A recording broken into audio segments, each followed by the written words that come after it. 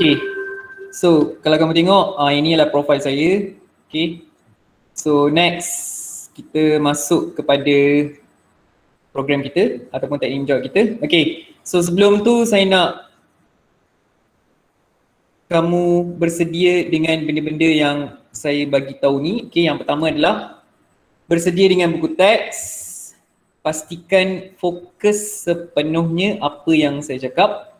Okay, dan pastikan kamu setkan minda kamu untuk mendapat A dalam SPM Sejarah 2021. Okay. So, kita start maraton. Lama tak lari maraton. Okay. So, apa yang perlu anda ingat? Okay, kalau kamu tengok, uh, kamu akan menduduki SPM. Okay, pada March 2022. Okay, so kalau kita tengok, masa dia sama je. Okay, March 2000, uh, kalau kamu tengok kita cuma ada masa dari September hingga March sahaja. Okay, so belum masuk bulan September tapi ada lagi beberapa hari, Ogos nak habis. Okay, jadi bila kita buat wrap up ada lebih kurang 6 bulan sahaja untuk exam kamu. Okay, dan bila kita darab ada lebih kurang 180 hari sahaja. So kalau saya bahagikan seorang saya buat roughly satu subjek, kamu cuma ada berapa hari untuk exam kelas? Berapa hari? Untuk satu subjek kamu boleh study untuk 18 hari sahaja. Okay? Sempat ke Imran? Sempat ke Imran? Sempat ke? Tak. Tak. Najwa, sempat ke Najwa? Okay. Tak sir. Tak. Okay. So masa memang mencemburui kamu eh. Masa memang sentiasa melarikan diri daripada kamu. Kamu yang kena kejar masa. Okay. So be prepare untuk SPM very soon. Okay, so sebelum saya nak start, saya nak bagi tahu kamu tentang pencapaian kita tahun lepas. Okay, so kenapa saya nak bagi tahu benda ni semua? Sebab saya nak naikkan semangat kamu. Okay, so kalau kamu tengok pelajar kita tahun lepas lulus 100% sejarah. Okay, tak ada seorang pun yang gagal. Okay, kalau kita tengok GPMP, GPMP maksudnya grade purata mata pelajaran kita adalah 1.76. Okay, tahun lepas pada tahun 2020 dan yang terbaik bagi tempoh 10 tahun. Dia lagi rendah, lagi baik. Okay. Dan kalau kamu tengok calon yang mendapat A pada tahun lepas ada seramai 160 orang. Okay, daripada 294. Okay, lebih daripada 53% calon kita dapat A. Okay, dalam subjek sejarah. Okay, dan kita juga adalah antara sekolah yang terbaik di daerah Seremban dan juga Negeri Sembilan. Okay, kalau kita compare dengan negeri-negeri uh, sekolah-sekolah teknik di seluruh Malaysia, kita adalah yang pertama. Okay, so saya nak kamu teruskan kecemerlangan ni untuk tahun uh, 2021. Okay, so ni adalah sijil yang kita dapat baru-baru ni semasa majlis uh, penyampaian hadiah hari tu. Okay, So next, okay ini merupakan message daripada senior-senior kamu yang berjaya mendapat A dalam subjek sejarah. Okay, sentiasa ingat satu benda eh. Sejarah, lulus sejarah merupakan kewajipan. Kamu wajib, wajib lulus sejarah. Kamu tak ada pilihan. Tapi kamu ada pilihan untuk mendapat A. Okay, So lulus adalah wajib tapi mendapat A adalah pilihan. Okay. So pilihan terletak pada tangan kamu. Okay. Yang mana pilihan anda? Nak lulus sahaja ke atau nak dapat A? Okay. So next. Okay. Sebelum nak jadi champion. Okay. Kamu kena kuasai format SPM sejarah. Okay. So bermula tahun 2021 okay, kamu akan menduduki peperiksaan SPM dengan format baru untuk subjek sejarah. Okay, kamu adalah batch pertama. Okay, hampir keseluruhan uh, subjek kalau kamu tengok kamu adalah pioneer ataupun batch pertama yang akan melalui format tersebut termasuk subjek sejarah. Okay, sejarah pun adalah format baru.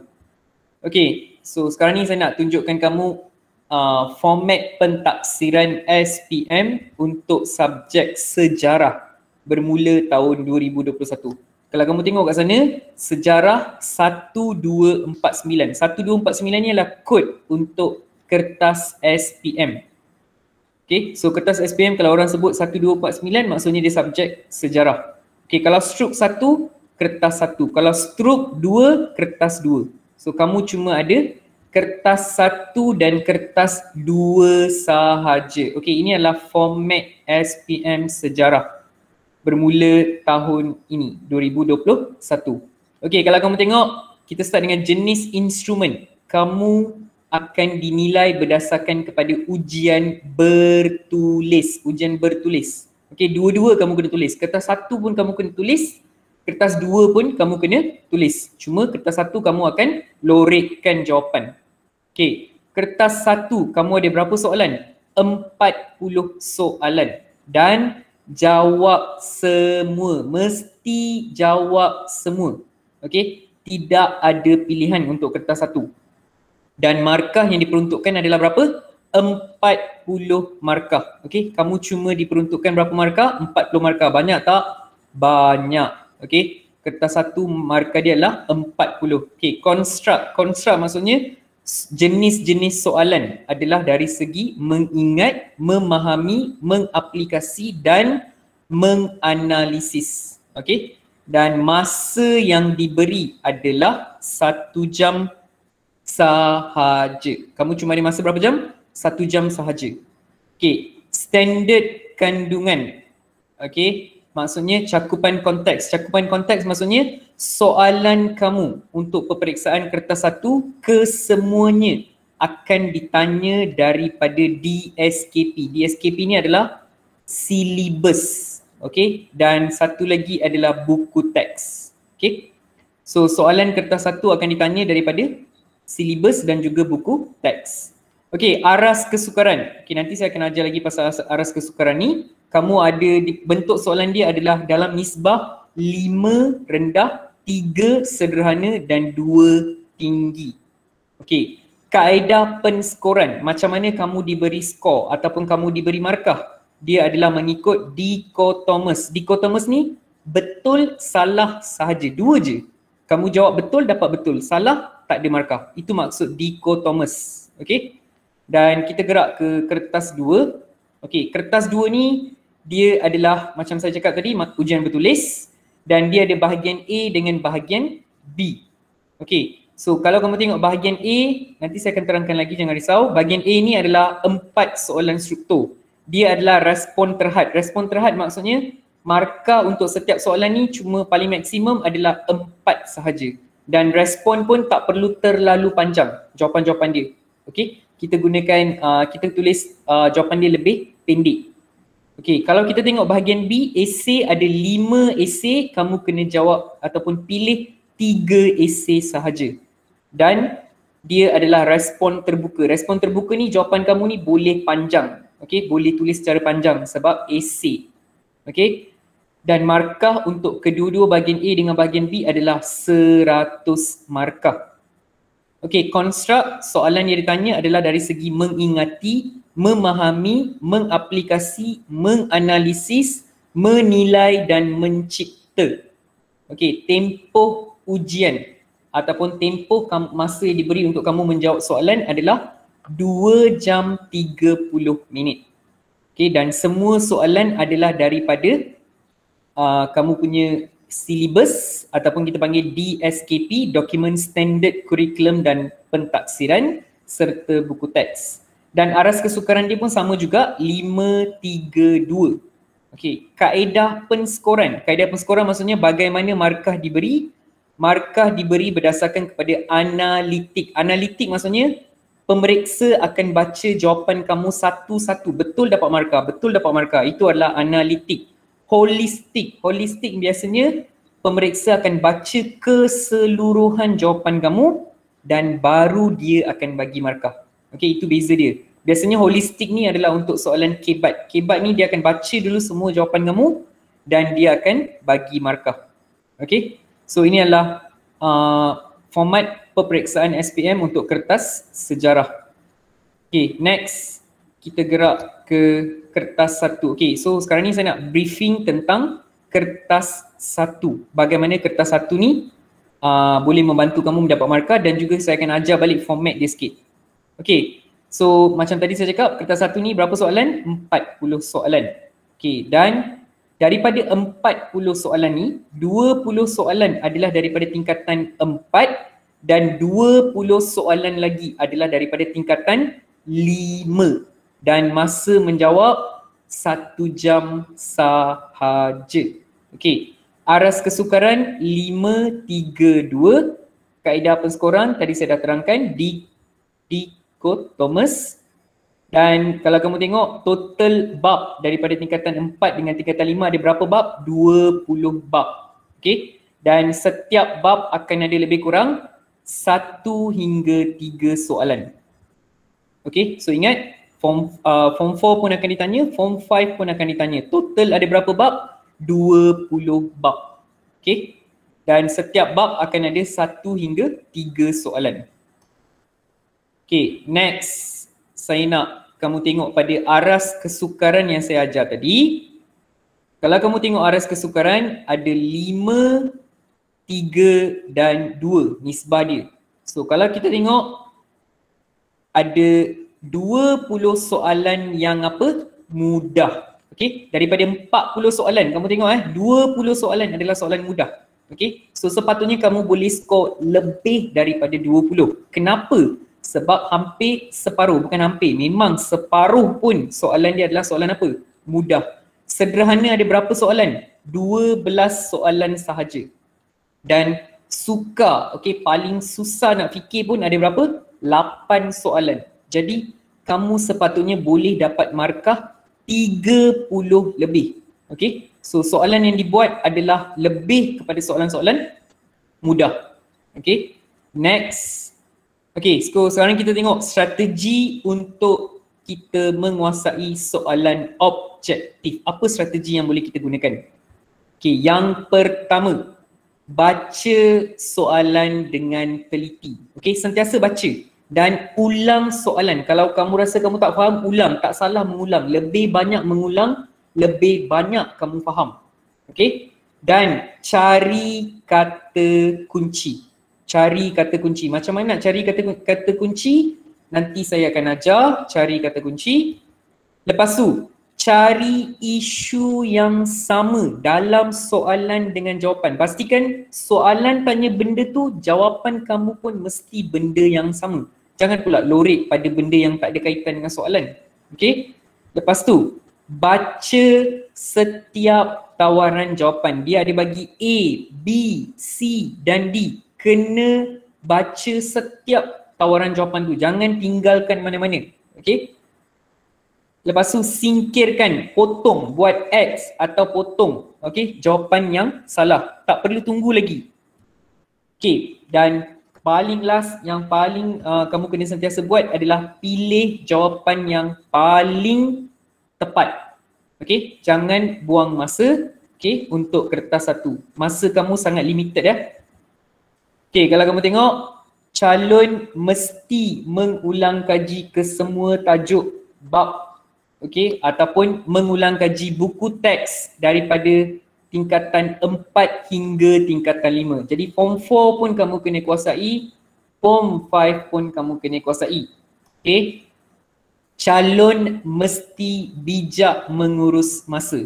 Okey. So kelas, satu soalan kamu ada berapa minit rasa-rasa? Berapa minit kamu ada? Cepat, cepat, cepat, cepat. Azik, berapa minit kamu ada Azik? Amal Azik, satu soalan. Aina Balkis, satu soalan berapa minit? Aziz cakap satu minit. Aina Balkis, satu soalan berapa minit? Okey, kalau kita tengok satu soalan kamu ada masa lebih kurang berapa? Aina cakap satu minit, betul ke satu minit? Satu minit tambahan berapa saat? Lima belas saat. Okey, sangat singkat ya sebenarnya. Satu soalan cuma ada masa satu minit lima belas saat sahaja. Okay, so pastikan kamu jangan buang masa. Okay, yang kedua, semak semua jawapan terutamanya soalan yang ragu-ragu kamu rasa kamu tak pasti semak balik okey dan okey ini adalah bentuk-bentuk soalan eh. Berdasarkan dialog raja senarai petikan kenyataan okey ini adalah bentuk-bentuk soalan yang biasa ditanya dalam peperiksaan. Okey so next. Okey ah tengok sini. Ini adalah bagaimana soalan akan ditanya. Okey, kalau semua semua soalan kamu adalah daripada buku teks, ini adalah buku teks form 4, ini adalah buku teks form 5. Okey, dan juga daripada DSKP. DSKP nampak dekat bawah ni. Dan DSKP ni dah ada dalam bentuk buku. Ada dua buku, form 4 dengan form 5. Okey. Nanti form 5 uh, saya akan bekalkan dua buku ni lepas buka sekolah. Okey. Dan saya akan ajar kamu cara untuk belajar menggunakan DSKP. Okay, dua buku ni akan ada pada kamu tidak lama lagi. Okay. Next, wajib baca. Okay, buku teks wajib baca. Tak ada buku teks, kamu tak boleh jawab soalan peperiksaan. Okay, so sekarang uh, kita tengok. Okay kelas, saya nak ramai-ramai jawab. Okay, dekat sini. Mana kata kunci yang pertama? Cepat sikit, kata kunci yang pertama apa dia? Cepat, cepat, cepat. Ingat hari ni kita ada food panda, kita ada hadiah. Siapa yang dapat jawab, kita akan bagi hadiah. Okay, yang pertama, apa dia punya kata kunci? Tujuan. Tujuan, okay. Tujuan referendum. Okay, sebelum tu, bila kamu dapat soalan macam ni, kamu kena baca semua benda yang ada. Yang pertama, baca maklumat dekat atas. Yang kedua, baca penyataan. Segala penyataan yang diberi adalah untuk membantu kamu. Okey? Yang kedua, cari kata kunci. Kata kunci tu adalah apa? Soalan dia, tujuan referendum. Okey? Dan ini adalah pilihan jawapan untuk soalan ni. Okey. Apa jawapan untuk soalan ni? Part apa jawapan untuk soalan ni? Haris Zakwan cakap donkey. Yang lain boleh bagi jawapan dekat chat box. Faris Nabahan cakap donkey. Betul ke donkey? Lagi, lagi, lagi, lagi saya nak cari. Saya dah bagi buku teks ke atas, bu, apa? Um, muka surat dekat atas tu, buku teks tu. Nazmi cakap A, Faris cakap donkey. Lagi, lagi, lagi, lagi. Jawapan lagi. Saya nak lagi jawapan lagi. Cepat. Faiz cakap donkey. Zainul cakap A.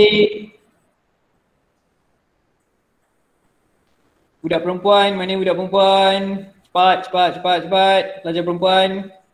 Aina cakap A, Wahida cakap A, Fatin cakap A. Farah, Aida, Aida cakap A, Naziha cakap A. Zulaika A. Adrina A, Nashira A, Heronisa cakap A. Okey, jawapannya adalah Okay, kalau kamu tengok jawapannya adalah A. Okay, memang betul jawapannya adalah A. Okay, kita gerak ke next soalan. Okay, saya nak kata kunci yang pertama. Okay, kelas. Kata kunci yang pertama apa dia kelas untuk soalan ni? Cepat, cepat, cepat. Kata kunci yang pertama apa dia? Sistem raja berpelangga, berperlembagaan dan demokrasi berparlimen. Okay, sistem raja berperlembagaan dengan demokrasi berparlimen. Okey, betul ke?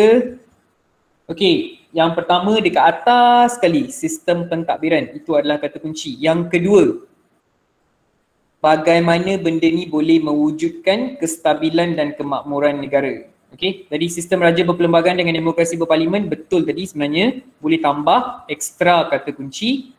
Okey, apa jawapan untuk soalan ni? Ini adalah soalan K-BAT. Okey, siapa tahu jawapan ni? Cepat sikit. Fakrul cakap A, betul Fakrul. Okey, yang lain. Yang ni adalah soalan kebat. Fikir betul-betul.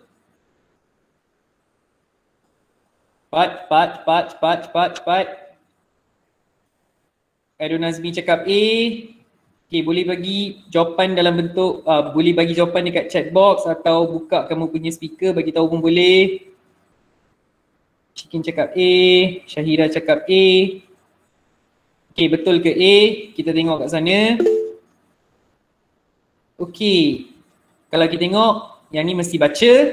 Okey, hak rakyat disekat. Pernah tak? Okey, cari jawapan yang salah. Pernah tak hak rakyat Malaysia disekat?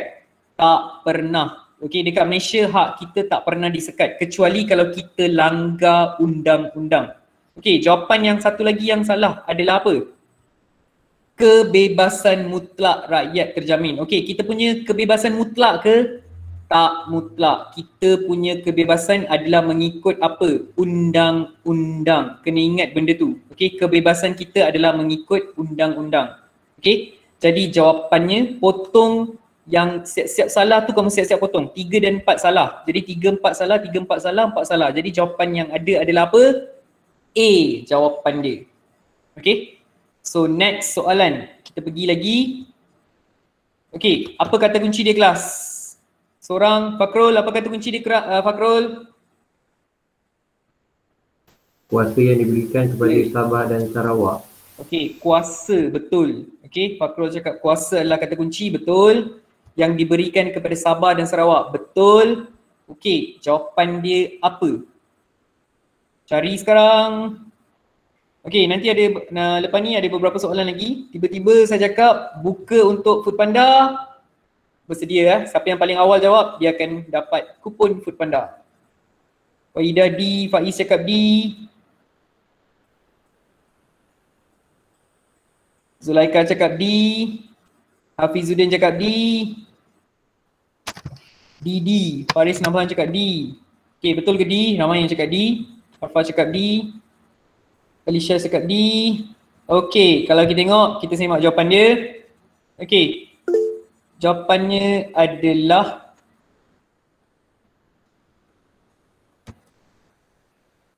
donkey immigration. Ingat ya, immigration adalah uh, kuasa yang diberikan kepada Sabah dan Sarawak sahaja. Dekat Malaysia, kita dah bagi Sabah dan Sarawak untuk jaga apa? Immigration. Kenapa? Sebab mereka dah minta benda ni semasa masuk ke dalam Malaysia.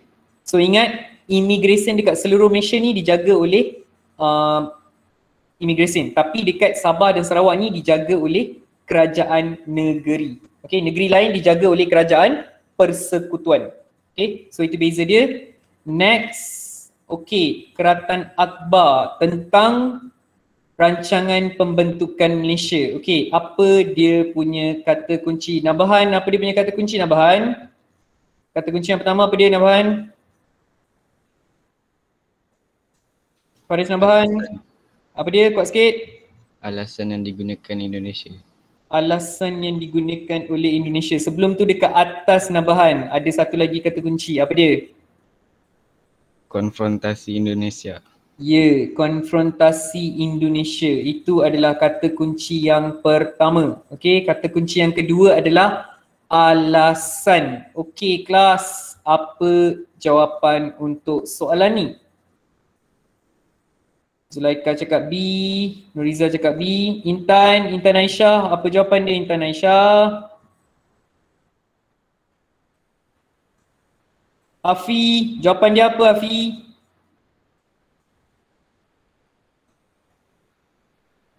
Okay, so ramai yang cakap B. Okay, betul ke jawapan dia B? Okay, jawapannya adalah bola. Okay, so ingat kamu kena cari kata kunci. Okay, lagi banyak kata kunci kamu buat, lebih senang untuk kamu faham. Okay, next kita buka lagi soalan lain. Okay, kita tengok pasangan yang benar tentang rukun negara. Okey, apa kata kunci yang utama dekat sini kelas? Ramai-ramai. Yang mana kata kunci? Rukun negara. Rukun negara. Okey, yang pertama pasangan dulu, lepas tu rukun negara. Pasangan yang benar dulu, lepas tu rukun negara. Okey, betul? Okey, apa jawapan dia? Yang ni adalah soalan tentang rukun negara. Ada dekat buku teks. So, apa jawapan dia?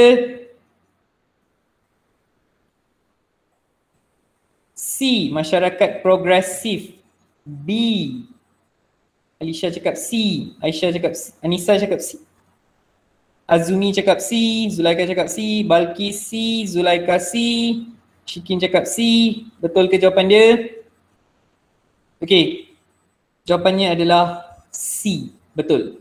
Okey. Iaitu masyarakat yang progresif adalah masyarakat yang bergerak maju sejajar dengan perubahan. Okey, next. Kita gerak lagi. Okey, so dalam kiraan 1, 2, 3, siapa yang paling awal dah menjawab ada kupon Food Panda sekarang. Okey, saya nak kamu buka speaker bagi tahu saya mana kata kunci lepas tu jawapan dia. Sekarang. Saya nak cuba boleh jago. Okey, boleh. Karun Nazmi. Uh, kata kunci dia mengembalikan maruah bangsa dan negaranya. Mengembalikan maruah bangsa dan negaranya. Okey. Uh, jawapannya saya jawab C. Jawapannya C, mengukuhkan angkatan tentera. Okey, betul ke? Okey, saya bagi lagi pilihan. Seorang lagi boleh cuba. Siapa nak try? Cepat cepat food panda menanti. Cepat cepat cepat cepat cepat. Siapa lagi yang nak try? Ada sikit lagi penambahan dekat sana. Kalau berjaya dapat. Okey. Kita tengok kat sana. Kata kunci yang pertama adalah tokoh. Okey, tokoh. Soalan fokus kepada tokoh. Okey, yang kedua. Selepas Perang Dunia Pertama. Itu adalah dia punya kata kunci dan kamu kena bulatkan juga Adolf Hitler. Adolf Hitler ni adalah pemimpin untuk negara Jerman. Okey, dan jawapannya adalah C, betul. Okay, Karun Nazmi, jawapan kamu betul. Karun Nazmi nanti PM sir, boleh? Boleh sir. Okay, so jawapannya adalah C. Okay, next. Kita gerak ke soalan seterusnya. Okay, yang ni soalan ni panjang sikit tapi sebenarnya senang nak jawab kalau kamu dapat satu kata kunci kamu dah boleh jawab semua ni. Okay, so apa jawapan dia kelas? Okay, saya bagi masa, cari cepat. Apa jawapan dia Azumi? Apa jawapan dia Azumi? Azumi? Dapat tak jawapan dia?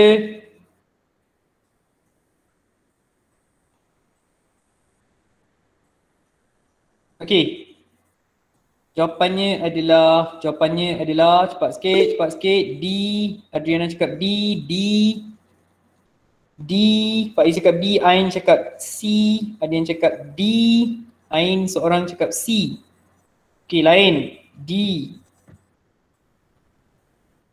Okey. D juga, betul ke? Tengok kat sana. Okey, so sekarang ni kita nak cari kata kunci dulu. Okey, kata kunci yang pertama adalah apa? Kerja sama. Itu adalah kata kunci yang pertama, kerja sama. Okey, kata kunci yang kedua kerajaan persekutuan dengan kerajaan negeri. Okey, kerajaan persekutuan dengan kerajaan negeri kerjasama. Okey, so kamu kena fokus kepada perkataan kerjasama. Kenapa mereka bekerjasama? Okey, tak cukup juga. Kamu tak dapat juga jawapan. Kita cari lagi kata kunci. Okey, prima. Okey, kita buat persamaan prima. Satu lagi kita buat mampu milik. Sebenarnya kan jawapan ni kamu boleh cari dalam perkataan mampu milik. Okey, kalau kamu jawab miskin, okey, miskin biasanya adalah orang yang memang tak mampu beli rumah. Okey, kenapa kerajaan beli, uh, kenapa kerajaan jual ataupun bina rumah mampu milik? Sebab biasanya mampu milik ni orang yang boleh beli rumah tapi bukan dengan harga yang tinggi. Okey, biasanya golongan mana? Miskin, sederhana atau golongan kaya yang beli untuk rumah mampu milik ni? Jawapannya adalah golongan pertengahan. Okey, jawapannya adalah dongki. So, kamu sebenarnya boleh cari jawapan dekat rumah mampu milik ni. Mampu milik ni biasanya adalah untuk golongan apa? Pertengahan. Pertengahan ni adalah middle class. Golongan pertengahan. Okey, golongan pertengahan ni dia bukan miskin, dia bukan kaya. Jadi dia mampu beli rumah. Tapi mestilah rumah tu mampu milik, harga dia berpatutan. Okay, next kita tengok lagi ada satu uh, soalan lagi. Okay kelas, dekat sini kata kunci dia. Apa dia kata kunci? Kata kunci, kata kunci, kata kunci dia apa? Cepat. Okay, kata kunci Langkah dia. yang diambil. Langkah. Langkah. Betul. Okay, langkah. Okay, apakah langkah yang diambil? Satu lagi kata kunci. Peristiwa 13 Mei. Okay. Apa jawapan dia kelas? Cepat sikit. Jawapan, jawapan, jawapan, jawapan, jawapan. C. Majlis Gerakan Negara. Azumi cakap C. Lagi Fakrul cakap C. Balkis C. Nazira cakap C. Zulaika. Apa jawapan kau Zulaika?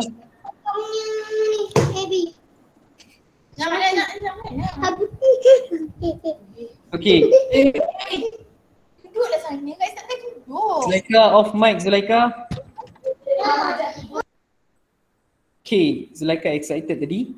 Okay, jawapannya adalah kalau kita tengok apa jawapan dia.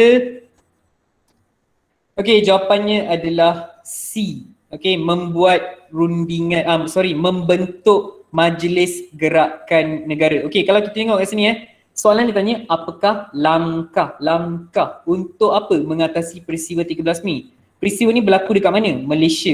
Apa kaitan dengan Indonesia? Jadi salah. Okey, pilihan raya. Masalah ni berlaku selepas pilihan raya. Jadi penyelesaian dia mengadakan pilihan raya ke? Salah. Okey, PBB ada tak kaitan dengan soalan ni? Tak ada. Jadi PBB salah. Cari jawapan yang ada kaitan. Tadi saya dah ajarkan ada kaitan dengan isu. Okey, yang ditanya. Jadi jawapannya adalah membentuk majlis gerakan negara ataupun mageran. Okay next. Cap Moho. Ini adalah berdasarkan kepada gambar. Okay kelas. Apa kata kunci yang pertama? Siapa boleh bagi tahu kata kunci yang pertama apa dia? Cak Moho. Cap Moho. Cak bohong besar jeraja. Cap Moho besar raja-raja. Okay satu lagi kata kunci. Ada dua kata kunci. Kepentingan. Kepentingan. Kepentingan. Kepentingan. Yes, betul. Kepentingan. Kepentingan. Yes. Okay, Cak Moho adalah kata kunci yang pertama. Yang kedua, kepentingan Cak Moho. So, buat ataupun bulatkan Cak Moho tu, kepentingan dia. Okay. So, jawapan dia apa kelas? Jawapan dia, jawapan dia C. Betul ke C? Okay. Jawapannya ada dekat buku teks tingkatan lima eh. Okay, kalau kamu tengok, kepentingan dia adalah melambangkan kedaulatan Raja-Raja Melayu. Ingat, daulat maksudnya bebas. Okay, jadi Raja-Raja Melayu ni tidak dipengaruhi oleh sesiapa. Mereka adalah bebas. Okay, jadi jawapannya adalah C, betul. Okay, next. Kita tengok soalan yang last kali untuk objektif. Okay, untuk soalan ni, kelas, mana kata kunci yang pertama kelas? Kata kunci yang pertama, kata kunci yang pertama apa dia? Cepat, cepat, cepat, cepat. Matlamat Malcolm McDonald. Matlamat Malcolm McDonald. Okey, ada lagi kata kunci lain tak? Penggabungan semua tanah jajahan British. Menggabungkan tanah jajahan British. Semua Betul ke? Kita tengok. British. Okey, yang pertama, Malcolm McDonald. Betul? Menggabungkan semua tanah jajahan. Okey, betul. Ini adalah dua kata kunci yang ada. Okey, kelas. Jawapan dia. Apa dia? Jawapan, jawapan, jawapan cepat. Apa matlamat? Kenapa Malcolm McDonald nak gabungkan semua negeri-negeri dekat uh, yang ada kat Malaysia? B, ramai yang cakap de- dekolonisasi. Ashraf cakap A. Balkis cakap B. Okey, kalau kita tengok jawapan dia adalah bola dekolonisasi. Okey, apa maksud dekolonisasi? Dekolonisasi maksudnya adalah kerajaan uh, proses ke arah berkerajaan sendiri. Okey, ataupun dia nak dia tidak lagi ingin menjajah. Okey, so saya terangkan ya. Dekolonisasi sebenarnya perkataan bahasa Inggeris. Decolonize. D ni tidak. Colonize ni adalah menjajah. Jadi tidak menjajah. Decolonize. Okay. Next. Okay, apa masalah utama kamu dalam kertas satu adalah benda yang paling kamu selalu buat adalah tidak ingat fakta. Kamu tak ingat fakta. Eh, kamu tak ingat tempat, kamu tak ingat tokoh, perjanjian, kamu tak ingat sebab berlaku sesuatu benda. Okey, kesan sesuatu peristiwa kamu tak ingat dan dasar, kamu tak ingat dasar. Ini adalah benda-benda atau soalan-soalan yang biasa ditanya dalam kertas satu. Okey, contoh eh, saya bagi beberapa contoh. Okey, tempat sepatutnya kamu tahu Putrajaya adalah apa? Pusat pentadbiran kerajaan persekutuan. Okey, Taman Negeri Royal Belum yang terletak dekat negeri Perak adalah tempat untuk pemeliharaan flora dan fauna. Okey, kamu tak tahu dekat mana letaknya Royal Belum. Okey, tokoh. Okey, tokoh Tunku Abdul Rahman. Kamu kena kenal siapa Tunku Abdul Rahman. General Suharto. Okey, kelas. Siapa dia General Suharto kelas? Boleh jawab? Siapa? Siapa tahu? General Suharto? Okey, boleh jawab eh. Presiden Indonesia yang kedua. Okey, betul. Okey, kalau kita tengok Suharto ni adalah Presiden Indonesia yang kedua selepas Soekarno. Kamu kena ingat.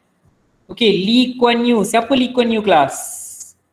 Open, siapa Lee Kuan Yew? Cepat, saya nak ramai-ramai jawab. Siapa Lee Kuan Yew? Lee Kuan Yew adalah apa? Siapa? Perdana Menteri Singapura yang pertama. Founder of Singapore. Okey, Seterusnya Mahatma Gandhi. Okey kelas, Mahatma Gandhi ni daripada negara mana? India. India. India. Okey, daripada negara India. Okey, dia berjuang tanpa menggunakan kekerasan ataupun senjata. Kamu kena ingat. Okey. Next, perjanjian. Okey, bila kita buat perjanjian Versailles ni? Bila? Ada peristiwa kita buat perjanjian Versailles ni selepas apa? Perang Dunia Pertama. Okey, yang melibatkan negara-negara yang kalah dan menang. Okey, ditandatangani dekat Paris.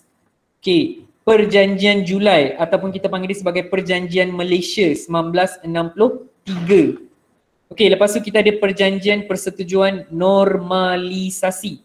Okey, iaitu perjanjian dengan negara Malaysia Indonesia untuk menamatkan apa? Konfrontasi. Okey. Dan perjanjian perlucutan senjata. Ini semua adalah perjanjian-perjanjian yang ada dalam buku teks kamu. Okay. Okay next kita tengok sebab. Okay kenapa pemisahan Singapura? Kenapa Singapura keluar daripada Malaysia? Kamu kena tahu. Okay sebab kenapa berlaku peristiwa 13 Mei? Kenapa berlaku pergaduhan antara kaum? Okay kesan kamu kena, ah, okay konfrontasi Indonesia. Kenapa berlaku konfrontasi Indonesia? Kenapa Indonesia menentang pembentukan Malaysia? Perang Dunia Pertama dan Kedua. Okey, bagai apa sebab berlaku peristiwa tersebut? Okey, Perang Dunia Pertama, pembunuhan pewaris takhta Austria-Hungary. Okey, Perang Dunia Kedua, kenapa macam mana boleh berlaku? Poland diserang oleh Jerman. Okey. Kesan. Okey, bila Malayan Union dilaksanakan, apa kesan dia kepada orang Melayu? Okey, Magiran. Apa kesan Magiran? Okey, Magiran ni diperkenalkan selepas peristiwa 13 Mei. Jadi bila Magiran di, diperkenalkan, uh, pergaduhan antara kaum dapat dikurangkan dan membawa negara kepada menjadi rakyat yang berbilang kaum. Okay, dasar. Dasar ekonomi baru. Dasar pembangunan nasional. Okay, ini semua adalah benda-benda yang perlu kamu tahu. Konsep atau istilah Jusoli. Apa tu Jusoli kelas? Apa tu Jusoli kelas? Kerakyatan secara apa? Terbuka. Okay, next. Blitzking. Okay, siapa tahu Blitzking ni siapa? Siapa tahu, siapa tahu, siapa tahu, siapa tahu. Ini adalah apa? Strategi apa kelas? Strategi apa? Strategi apa? Strategi ketenteraan. Okay, yang digunakan oleh Jerman. Kita panggil dia sebagai strategi kilat ataupun serangan kilat. Okay. Dan gerila. Apa tu gerila? Okay, next hartal. Apa tu hartal? Hartal ni adalah mogok. Okey, dengan contohnya menutup semua kedai. Okey, itu adalah hartal. Hartal ni adalah mogok. Okey, so ni adalah benda-benda yang selalu ditanya dalam kertas satu. Okey, ini adalah benda yang perlu kamu kuas, kena kuasai. Okey, jadi yang ni adalah soalan-soalan yang berkaitan dengan unsur patriotisme. Okay, kamu boleh nampak kat sana perkara-perkara yang dikuasai dalam nilai dengan unsur patriotisme contoh nilai. Saya bagi eh. Saya ambil beberapa contoh. Yang pertama, bila kita sebut pembentukan Malaysia, apa nilai yang boleh kita kaitkan? Muafakat antara pemimpin. Menyelesaikan masalah melalui rundingan. Okey, peristiwa 13 Mei, apa nilai yang boleh kita kaitkan? Perpaduan antara kaum sangat penting. Ancaman komunis pula, nilai dia keberanian menentang komunis. Cinta kepada negara, sanggup berkorban untuk negara. Okey, pilihan raya, apa nilai dia? Kebebasan asasi. Setiap rakyat diberi kebebasan untuk mengundi. Okey, Malayan Union, apa nilai? Perpaduan ataupun kita boleh cakap keberanian dalam kalangan orang Melayu. Okey, ini adalah nilai-nilai yang kamu boleh ambil daripada peristiwa-peristiwa yang saya letak kat tepi ni. Okey. Next. Kesalahan yang biasa kamu lakukan pada kertas satu. Apa kesalahan dia? Cuai semasa menjawab. Okey. Contoh, apa kesalahan kamu? Tidak semak jawapan. Kamu tak semak jawapan. Okey. Yang kedua, tidak membaca keseluruhan pilihan yang diberi. Kamu tak baca. Kamu cuma just baca beberapa jawapan terus tick. Salah. Kena baca semua pilihan jawapan. Okay. Seterusnya. Yang ni paling common. Tersalah lorek. Kamu salah lorek jawapan. Sepatutnya kamu lorek C. Tapi kamu terlorek donkey. Ini adalah common mistake yang biasa kamu buat. Okay. Okay kelas. Nampak tak kat sini? Nampak tak semua? Okey, apa yang ni? Kalau kamu tengok, ini adalah jawapan-jawapan yang telah uh, ataupun jawapan-jawapan untuk kertas SPM past year atau tahun sebelum-sebelum tu. Okey, kalau kamu tengok, setiap jawapan A, B, C, D, dia ada dia punya kota dia ataupun ada dia punya skala dia. Okey, contoh A pada tahun lepas, okey, berapa kali dilorek? Sebelas kali. Okay. B, sembilan. C, sepuluh. D berapa? Sepuluh. Kamu nampak tak? Kamu jawapan kamu sepatutnya tersusun macam ni. Dia tak ada tiba-tiba A kamu lorek lima belas. Tiba-tiba B kamu lorek dua puluh. Salah. Dia ada dia punya pecahan dia berapa kali lorek. Biasanya skala dia adalah daripada 8 hingga 12 sahaja. Cuba tengok kat sini. Okay. 2013 hingga 2020. Berapa kali dilorek? A, okay, B, C dan D. So ini salah satu cara yang boleh membantu kamu untuk menjawab kertas satu. Tiba-tiba kamu tengok D, kamu lorek hanya 5 kali sahaja. Something wrong. Okay, jadi ada mana-mana soalan yang telah kamu lakukan dengan memilih uh, lakukan kesilapan dengan memilih jawapan yang salah. Okay, so ingat bila kamu lorek, jangan lorek terlalu banyak dan jangan lorek terlalu sikit. Ikut dia punya skala. 8 hingga 12 tu kira okey, tak ada masalah. Kalau salah pun mungkin salah satu atau dua sahaja. Okay, so ingat bila lorek pastikan kamu kira balik kalau ada mana-mana yang terlebih dan terkurang maksudnya something wrong. Betulkan. Okay kelas. Ramai-ramai faham tak apa yang saya cakap ni tentang lorek ni? Faham? Faham? Faham. Faham tak? Faham. Faham.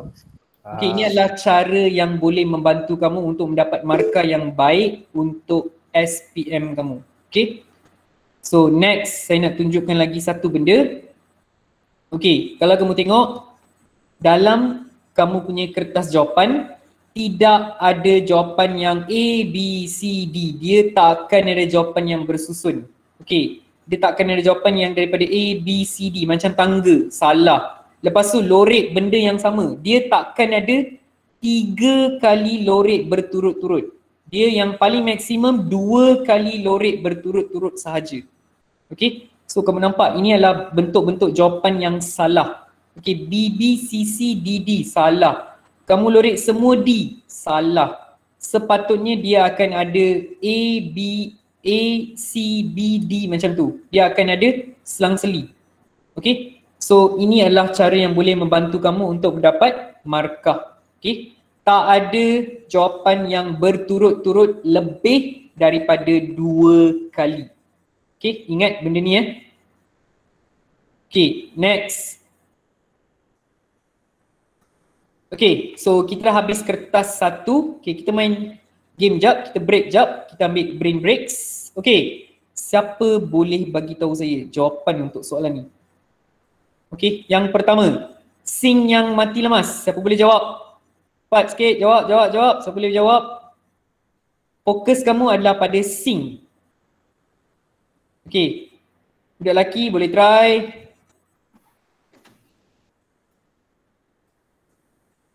Okay, cepat sikit. Sing, singa. Azumi cakap singa. Mak singa, sing yang mati lemas singa ke Azumi? Try lagi, try lagi, try lagi kat box. Jawapan, jawapan, jawapan, jawapan. Cepat. Sing Fakrul.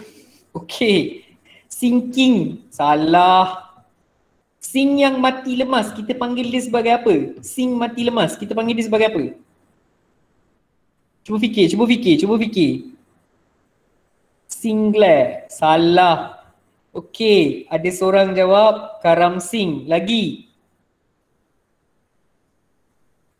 Lagi, lagi, lagi, lagi fikir Sing mati. Jarjit. Single.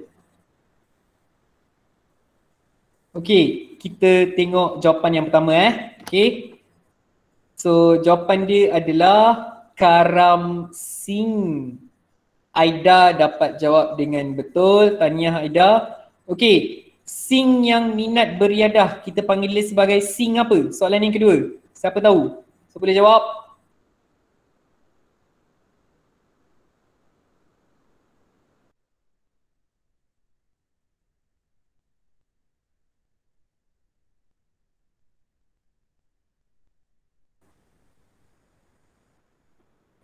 Dia, dia, dia, sing yang minat beriadah. Ada Zafran Singh, salah. Singing, salah. Racing, salah. Mana ada sing kat sana? Lagi-lagi yang beriadah, suka beriadah. Okey.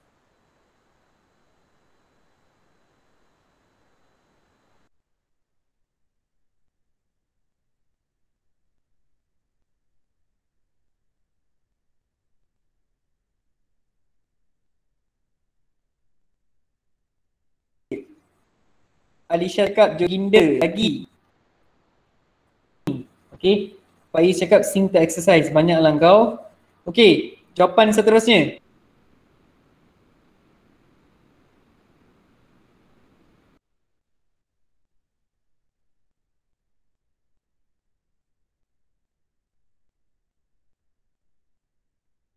Ataupun uh, untuk satu satunya sing yang ada dekat dia.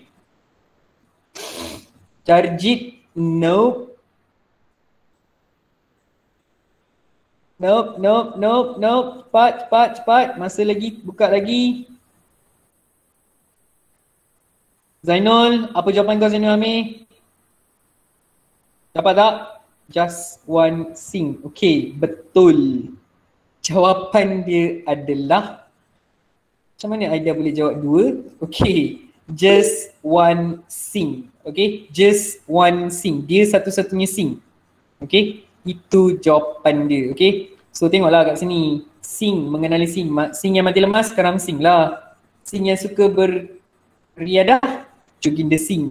Dia satu-satunya sing, just one sing. Okay, nanti ada lagi game, kita sambung. Okay, so boleh kita masuk pada kertas dua tak? Boleh kelas? Ramai-ramai boleh ke? Ramai-ramai boleh ke? Syakir boleh tak? Boleh. Eh, Okay. Bersedia untuk soalan-soalan untuk next bagi Food Panda. Okay. Kita gerak ke kertas dua. Okay. So, ah sebelum tu saya nak kamu tengok yang ni. Okay, cuba tengok tema ni. Saya nak kamu uh, fokus pada benda ni. Okay, kalau kamu tengok soalan SPM kamu bukan berdasarkan kepada bab. Dia bukan berdasarkan kepada bab eh, tapi berdasarkan kepada tema. Okay, tema maksudnya apa? Apa itu tema? Okay, kalau kita tengok tema untuk form 4 start daripada 9. Kenapa 9? Sebab form 3 kamu stop dekat 8. Okay, maksudnya sejarah form 3 berakhir dekat 8.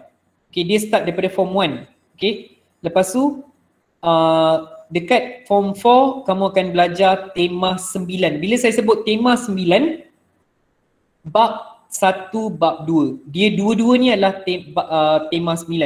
Kalau saya cakap tema 10 berapa bab? 4 bab. Okey dan tema 11 ada 4 bab. Tema 12 ni dah masuk tingkatan 5. Ada berapa uh, tema dalam tema 12 ni ada 1 2 3 4 4 uh, bab. Okey. Bab uh, tema 13 ada 2, 17 14 2, 15 ada 2. So biasanya tema mereka akan keluarkan soalan daripada tema 1 2 3 4 5 6 7. Jadi ada 7 daripada 7 tema ni akan keluar 5 soalan esei. Okey dan juga soalan struktur. Okey. Jadi kamu kena tahu pasal tema ni. So biasanya kalau kamu baca bab 9 dengan bab 10, kamu boleh jawab satu soalan sebenarnya. Okey? Kalau kamu baca bab 7 dengan bab 8 dekat tema tingkatan 5 ni, kamu boleh jawab satu soalan. Okey? So ini adalah pecahan tema mengikut bab. Okey? So next kita tengok lagi kat sana. Okey, jom kita layan kertas dua sejarah. Okey, kertas dua kamu ada, uh, saya fokus pada bahagian satu dulu eh. Okey, so kamu ada empat soalan struktur. Okey, wajib jawab semua untuk soalan struktur. Tidak ada pilihan, mesti jawab semua. Okey, dan mas, uh, kamu ada soalan esei. Berapa soalan esei? lima soalan esei. Pilih berapa? Pilih tiga sahaja. Okey, masa menjawab dua jam tiga puluh minit. Kamu kena jawab soalan-soalan ni dalam masa dua jam tiga puluh minit. Okey, aras kesukaran tadi saya dah terangkan. Okey, dan kaedah penskoran pun tadi saya dah terangkan. Okey, dan next kita tengok kertas 2 dan kita fokus kepada bahagian A iaitu soalan struktur saja dulu. Okey, soalan struktur ada berapa? Empat. Jawab semua soalan.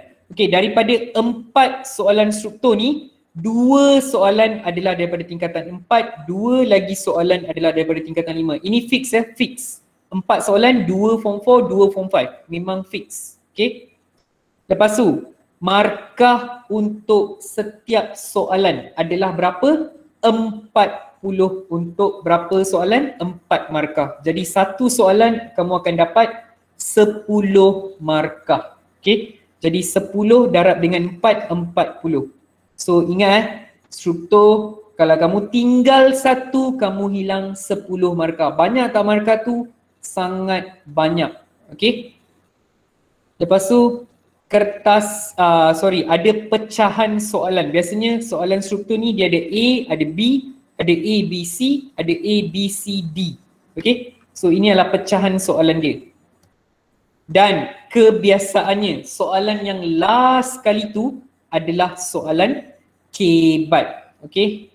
Dan tolong ataupun mesti mesti jawab semua soalan. Okey, tidak ada pilihan untuk struktur. Kamu kena wajib jawab. Okey. Next, kita tengok lagi pembahagian masa. Okey, kalau tengok tadi uh, kertas satu, satu soalan, satu minit, lima belas saat. Betul tak? Okey, kalau soalan struktur ni, kalau kita tengok eh, peruntukan masa yang sepatutnya adalah lima belas minit sahaja untuk satu soalan. Jadi empat soalan kamu cuma ada masa berapa? Sejam. Okay, so ingat setiap soalan kamu akan diberi peruntuk uh, kamu sepatutnya kena bajet 15 minit. Okay, dan kalau kamu berjaya buat benda ni dalam masa 60 minit jawab semua empat-empat soalan, kamu berjaya membahagikan masa dengan baik. Okay, so total untuk empat soalan adalah berapa? 60 minit. Okey, teknik menulis jawapan struktur. Okey, sekarang ni saya nak ajar kamu cara menulis jawapan. Okey, so fokus betul-betul dan sedia dengan buku teks, cari jawapan dia. Okey, cuba tengok soalan yang pertama. Okey, uh, sebelum tu saya nak kamu fahamkan ya. Jawapan kamu untuk soalan struktur perlulah ringkas. Tak perlu panjang-panjang. Macam mana ringkas tu? Nanti saya akan tunjukkan contoh dia. Okey, gunakan ayat yang paling mudah dan ringkas. Tak perlu panjang. Okey. Next.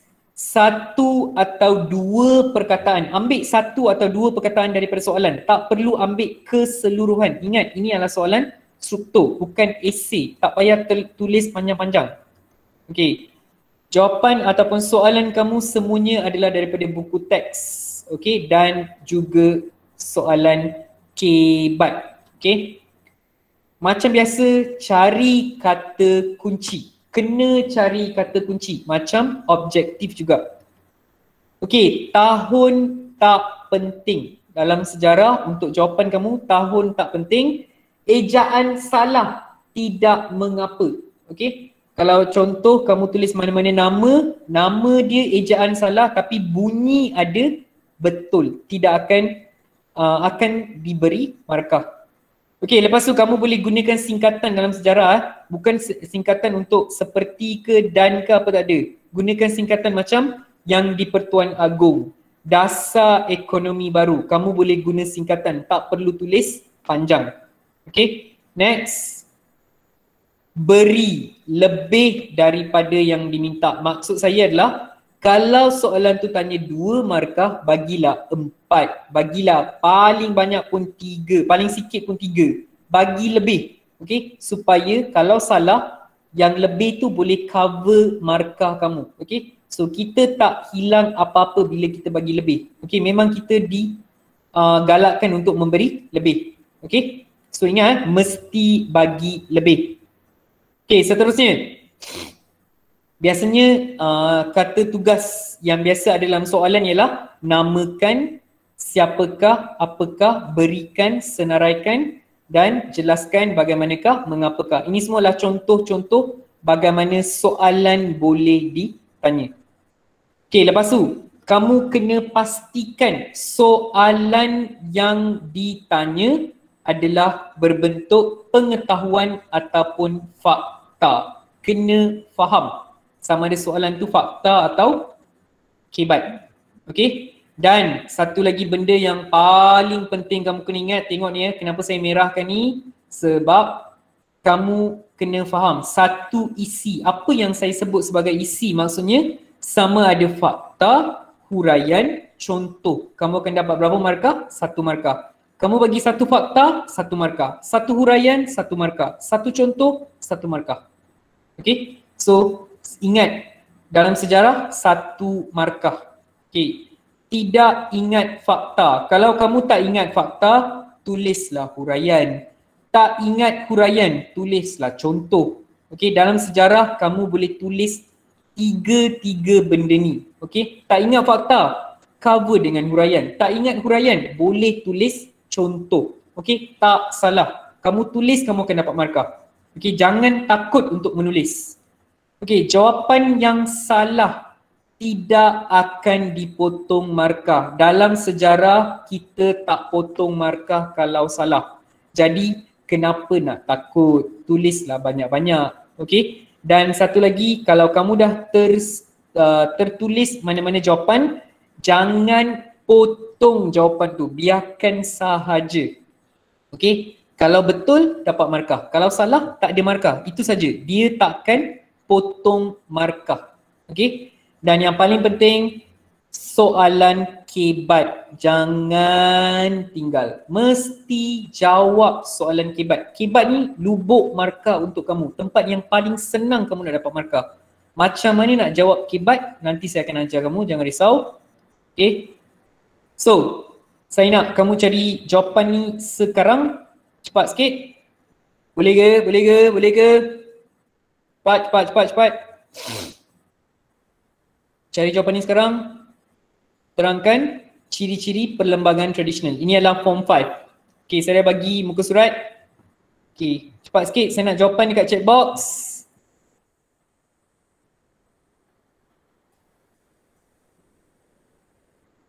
Syakir, dapat Syakir.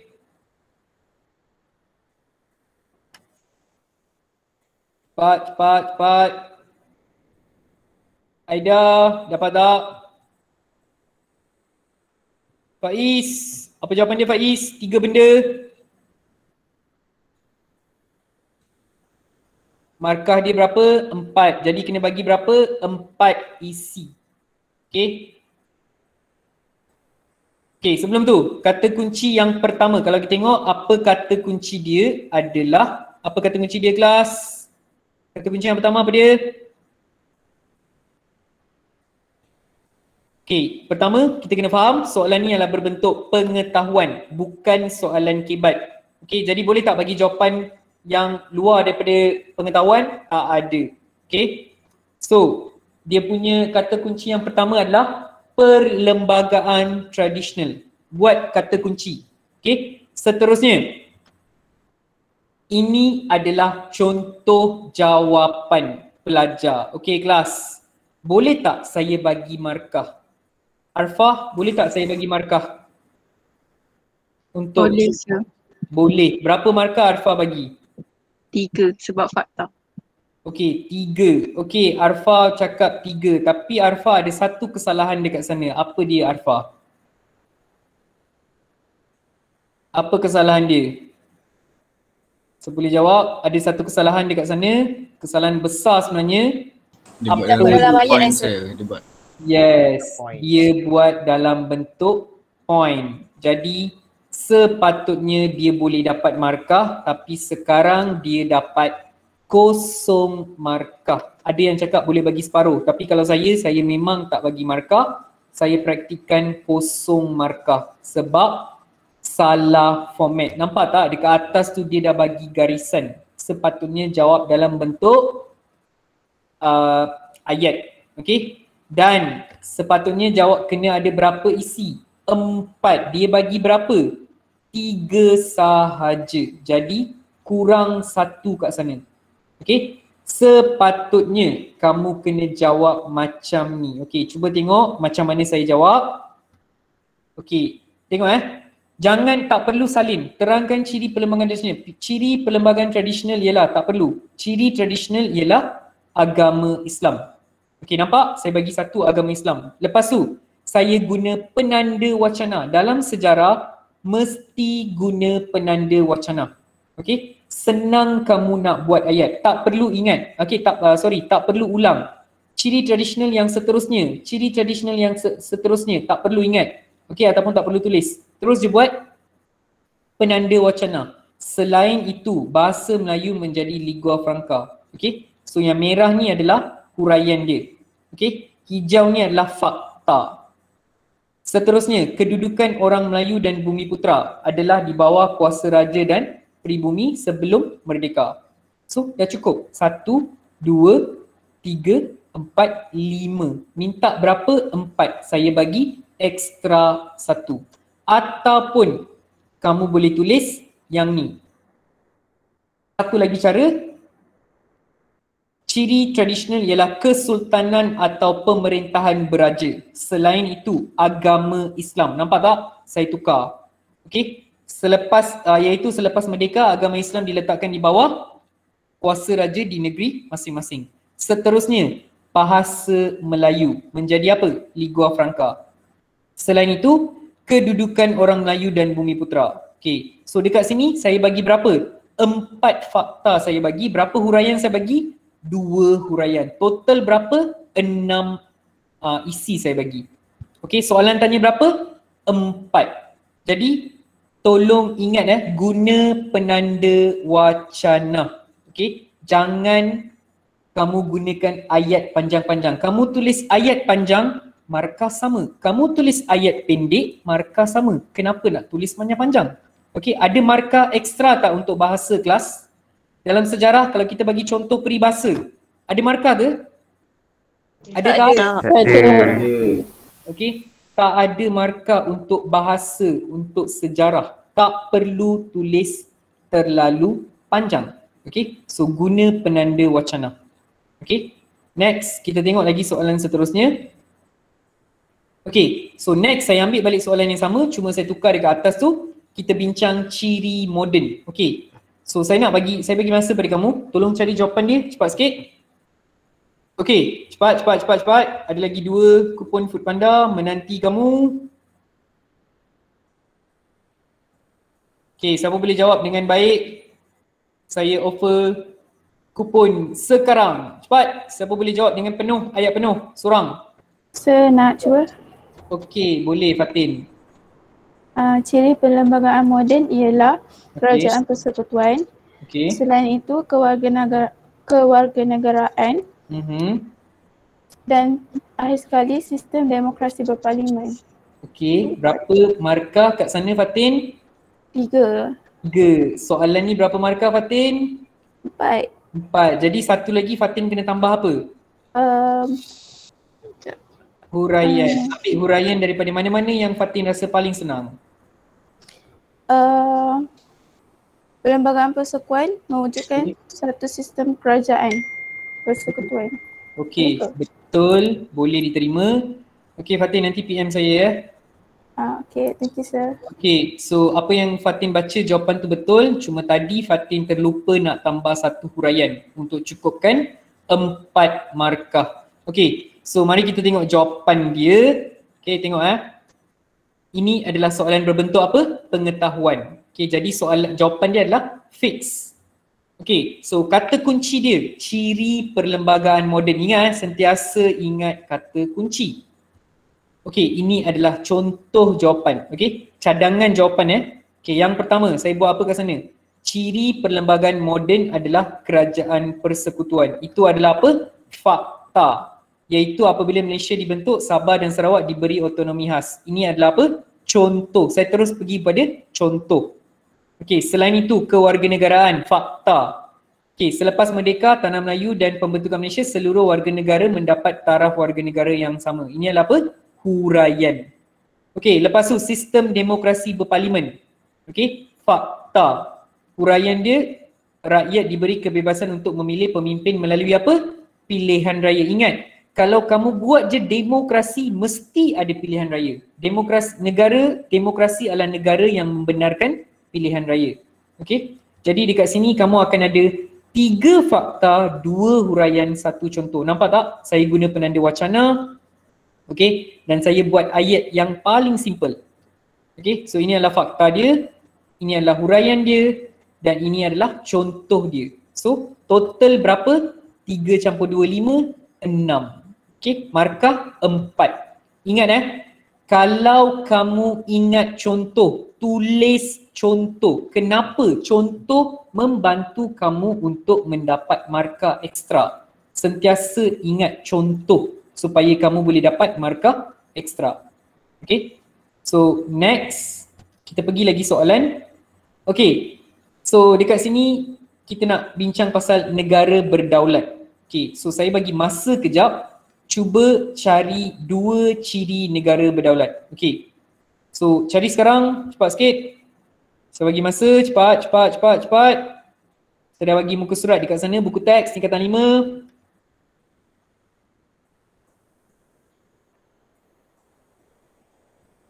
Siapa nak try boleh try. Okay tak ada masalah jangan takut. Berani mencuba. Kalau tak mencuba sekarang bila lagi kamu nak mencuba? Okay Azumi cakap sempadan dengan ada pemerintahan. Betul Azumi. Okay lagi siapa lagi nak bagi jawapan? Bagi lebih, bagi lebih. Saya nak jawapan lebih.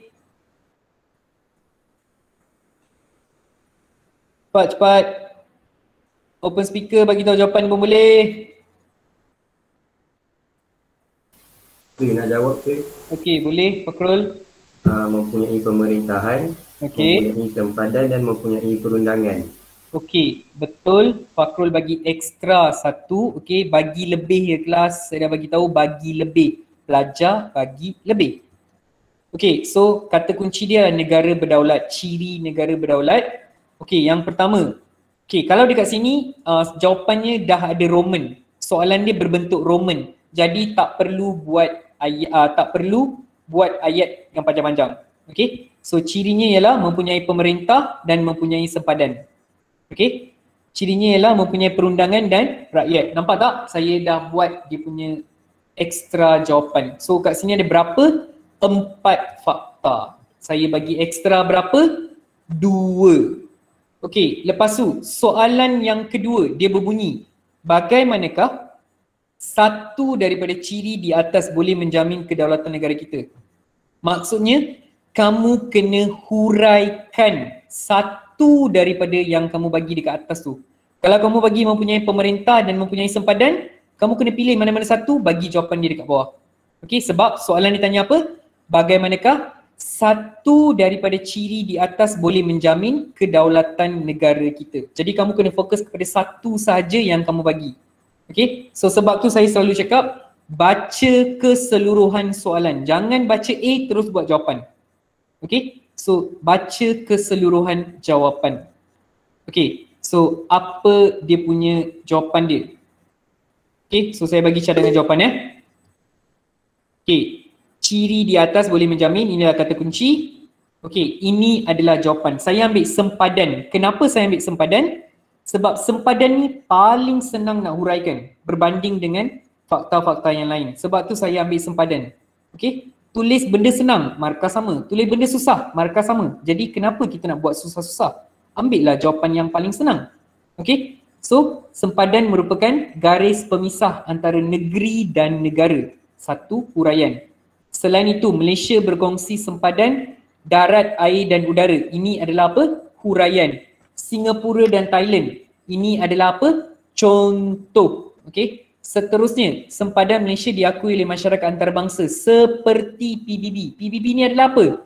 Contoh. Okey, selain itu, penetapan sempadan memudahkan urusan pemerintahan dan ekonomi negara. Ini adalah apa? huraian. So total dekat sini ada berapa? Empat huraian. Berapa contoh? Dua contoh. So nampak tak?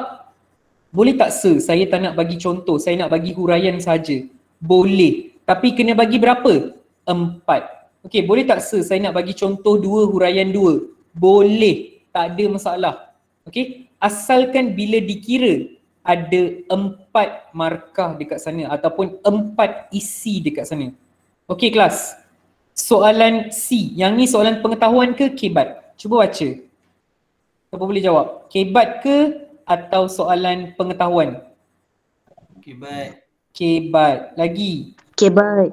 Kebat. Lagi. Hebat. Kebat. Harid Zakuan. Kebat ke fakta Harid Zakuan? Harid Zakuan? Kebat. Kebat. Okey. So kalau kita tengok ini adalah soalan berbentuk kebat. Okay, so memang kebat. Okay, kata kunci dia adalah hubungan baik dengan negara jiran penting bagi menjamin kedaulatan. Jadi maksudnya dia soalan dia bertanya, kita kena jalinkan hubungan yang baik dengan negara lain supaya dapat menjamin kedaulatan negara kita. Ingat, kedaulatan adalah kebebasan negara kita, kemerdekaan negara kita. So bagaimana kita boleh buktikan benda ni Okey, cuba tengok cadangan jawapan saya. Ini adalah cadangan jawapan eh.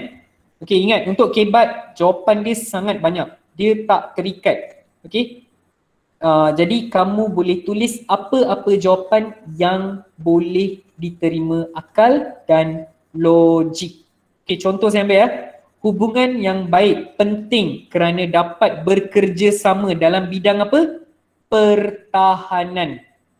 Okey, kita kena bekerjasama. Contohnya, Malaysia bekerjasama dengan Indonesia okay, untuk menjaga apa?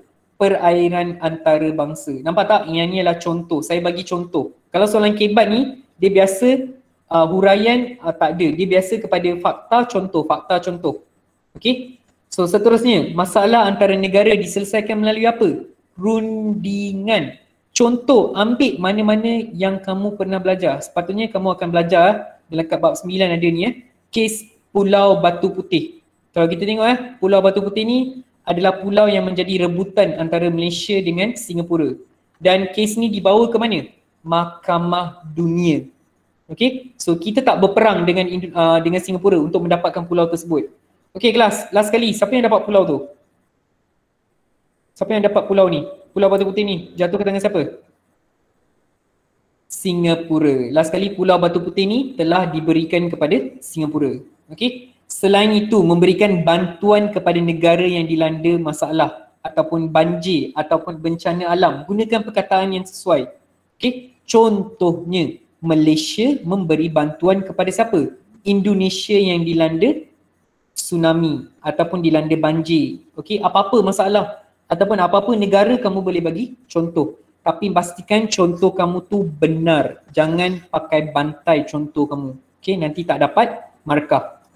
So kalau kamu tengok sini, saya bagi berapa? Tiga fakta. Saya bagi berapa? Tiga contoh. So berapa? Empat markah saya akan dapat. Okey, saya bagi apa? Lebih. Boleh tak saya bagi dua fakta, dua contoh? Boleh. Boleh tak saya bagi tiga fakta, satu contoh? Boleh. Okey? Next. Okay, so kita tengok satu lagi, jawatan kuasa antara kerajaan. Okay, so kalau kamu tengok dekat buku teks, jawapan soalan ni ada dekat muka surat. Jawapannya ada dekat muka surat 102. Okay, so buka semua cepat, cepat, cepat, cepat, cepat. Saya nak jawapan yang pertama. Apakah tujuan penubuhan? Jack. Sir, Ya, saya ada soalan. ya Najwa. Kan saya cakap kalau boleh jawab dalam uh, apa tu Roman tu kalau dah dis, disediakan je kan. Ya, betul. So maksudnya kalau dia tak sediakan walaupun soalan tu nyatakan Ya, kena buat dalam ayat juga. ya betul. Kena buat dalam ayat juga Najwa. Dia tak boleh, kita tak boleh buat Roman sendiri. Kalau dia bagi Roman uh, ni, dia boleh jawab. Okay, kalau dia bagi Roman, kita boleh buat Roman. Kalau dia tak bagi Roman, kita tak boleh tambah Roman. Okay, nanti akan ada soalan, contoh soalan nanti saya akan tunjukkan. Okay, lima pedek dua dengan pedek tiga. Okay, saya nak kamu bagi respon. Okay, ketua kelas pedek dua. Siapa? Ah, Farid Dayat, saya. Ah, Farid. Farid. Farid Ah. tu Farid? Farid ya? Ah, Farid. Okay, Farid, jawapan yang pertama apa dia Farid? Apa tujuan penubuhan jawatan kuasa kerajaan Farid? Cuba cari dalam buku teks, cepat sikit. Lima pedek tiga, ketua kelas siapa? Saya. Saya. Ashraf. Kuat sikit Ashraf, jawapan pertama apa Ashraf? Cepat, cepat, cepat, cepat. Saya dah bagi buku teks, saya dah bagi muka surat, apa lagi yang diperlukan. Dah ke Farid?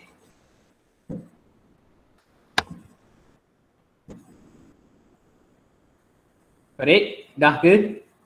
Saya nak cuba. Tapi ah Ashraf, cuba dulu. Soalan satu tu kan? Ya, soalan satu.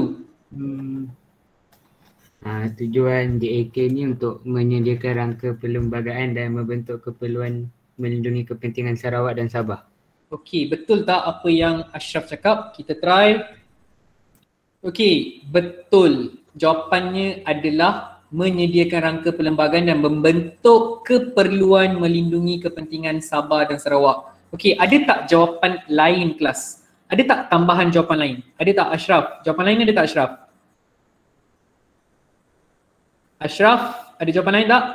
Tak ada sebab dalam buku teks memang ada dua sahaja sebab tu saya tak bagi ekstra. Okay, faham tak? Okay, so berapa fakta? Saya bagi dua fakta. Okay, dalam buku teks cuma ada dua sahaja. Okay, namakan dua jawatan kuasa kecil yang ada dalam JAP. Farid, kau hutang dengan aku Farid. Mana jawapan kau Farid? Ah, saya cari je. Ha, soalan B, dah ke belum Farid? Ah, perlembagaan dengan kewangan. Okey, perlembagaan dengan kewangan. Betul. Okey, dekat sini pilihan banyak. Okey, jadi boleh bagi ekstra. Okey, untuk soalan ni dia ada apa? Roman. Jadi kita boleh jawab terus. Tak perlu ayat. Okey, so saya bagi berapa? Empat. Soalan tanya berapa? Dua. So saya dapat total markah? Dua. Okey. So next, apakah perkara-perkara yang telah dicadangkan yang dimasukkan oleh JK untuk perlembagaan persekutuan? Okey, Farid, bagi saya satu nama Farid. Kelas kau, siapa yang paling rajin dalam sejarah? Siapa paling pandai? Farid. Ah, Zulaika. Zulaika. Okey Zulaika. Zulaika ada Zulaika. Ada sir. Ha, okey Zulaika. Saya nak soalan C Zulaika jawapan. Adlin Najwa ada, Adlin Najwa. Adlin, Adlin Najwa ada. Ada. Ada. Adlin, saya nak jawapan C juga Adlin. Okey, ada orang bagi uh, ni. Okey, cepat sikit. Zulaika, dah ke?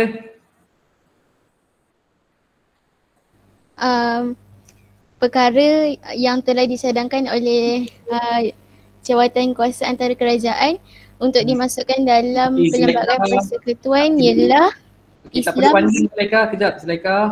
Perkara Oh. yang telah dicadangkan ialah.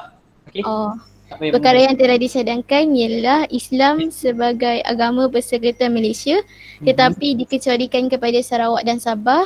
Okey. Selain itu bahasa Melayu sebagai bahasa rasmi Okey. tetapi bahasa Inggeris juga boleh digunakan sebagai bahasa rasmi di Sarawak dan Sabah. Okey. Uh, dan akhir sekali uh, sistem pendidikan dikekalkan di bawah kawalan kerajaan persekutuan kecuali Sarawak dan Sabah. Okey, betul. Apa yang Zulaika jawab tu betul. Okey. Uh, Adlin, nak jawab Adlin? Ada jawapan kau, Najwa? Adlin? Ada. Ha, okey, jawab. Dalam Parlimen Malaysia sebanyak 24 kerusi hendaklah diperuntukkan kepada Sarawak dan Mhm. 16 kerusi kepada Sabah Okey. dan 15 kerusi kepada Singapura. Okey. Kuasa imigresen terletak di bawah kerajaan. Persekutuan tetapi Sarawak dan Sabah diberi kuasa tersendiri untuk mengendalikan hal ehwal imigresen. Okey. Okey, betul. Apa yang Najwa cakap pun betul, Zulaika cakap pun betul. Okey, so kita tengok contoh jawapan. Okey.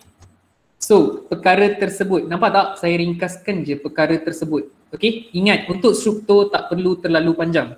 Okey, perkara tersebut ialah ataupun perkara yang telah dicadangkan ialah tak perlu panjang sampai perlembagaan persekutuan. Kamu tulis panjang-panjang, nanti ruangan dia akan penuh dengan soalan. Betul tak? Jadi kamu punya jawapan akan jadi pendek. So pastikan kamu pilih ataupun kamu start ayat dengan benda uh, jawapan yang uh, apa? permulaan yang pendek sahaja. Okay? So contoh jawapan saya, perkara tersebut adalah agama persekutuan Malaysia tetapi dikecualikan kepada Sabah dan Sarawak. So nampak penanda wacana, saya guna penanda wacana. Selain itu, bahasa Melayu ialah bahasa rasmi persekutuan. Tetapi bahasa Inggeris digunakan sebagai bahasa rasmi di Sabah dan Sarawak. Okey, lepas tu Sabah dan Sarawak diberi kuasa mengawal immigration. Okey, dalam parlimen Sarawak diberikan berapa kerusi? 24 kerusi. Maksudnya ada 24 wakil. Okey, 16 wakil adalah daripada mana? Sabah. So kalau kamu kira, saya bagi berapa fakta? empat fakta. Ada huraian tak? Untuk soalan ni tak ada huraian. Okey, ada contoh tak? Tak ada contoh untuk soalan ni. Okey, sebab dia perjanjian. Okey. So next kita tengok satu soalan. Ini adalah soalan apa? Kelas pengetahuan ke kibat? Pengetahuan ke kibat? Kibat. Okey, kibat. Betul. Okey, As, uh, Asfa 5 pedek tiga ada. Aspar lima pedek tiga ada. Ada tak, ada tak, ada tak, respon Aspar Farid, panggil dia. Okay, so kalau kamu tengok ini adalah soalan berbentuk kebat. Okay, so saya nak kamu tengok bagaimanakah perkara-perkara yang diusulkan oleh jawatan kuasa dap, uh, jawatan kuasa kerajaan dapat menjamin hak dan kepentingan rakyat Sabah dan Sarawak. Okey, so kita tengok cadangan jawapan dia. Ini adalah soalan apa? Kebat. Okey, so tengok kat sini. Ditanya bagaimana perkara ni dapat menjamin kepentingan. Apa perkara-perkara dia? Okay, so Sabah dan Sarawak telah diberi apa? Otonomi. Okay, apa tu otonomi?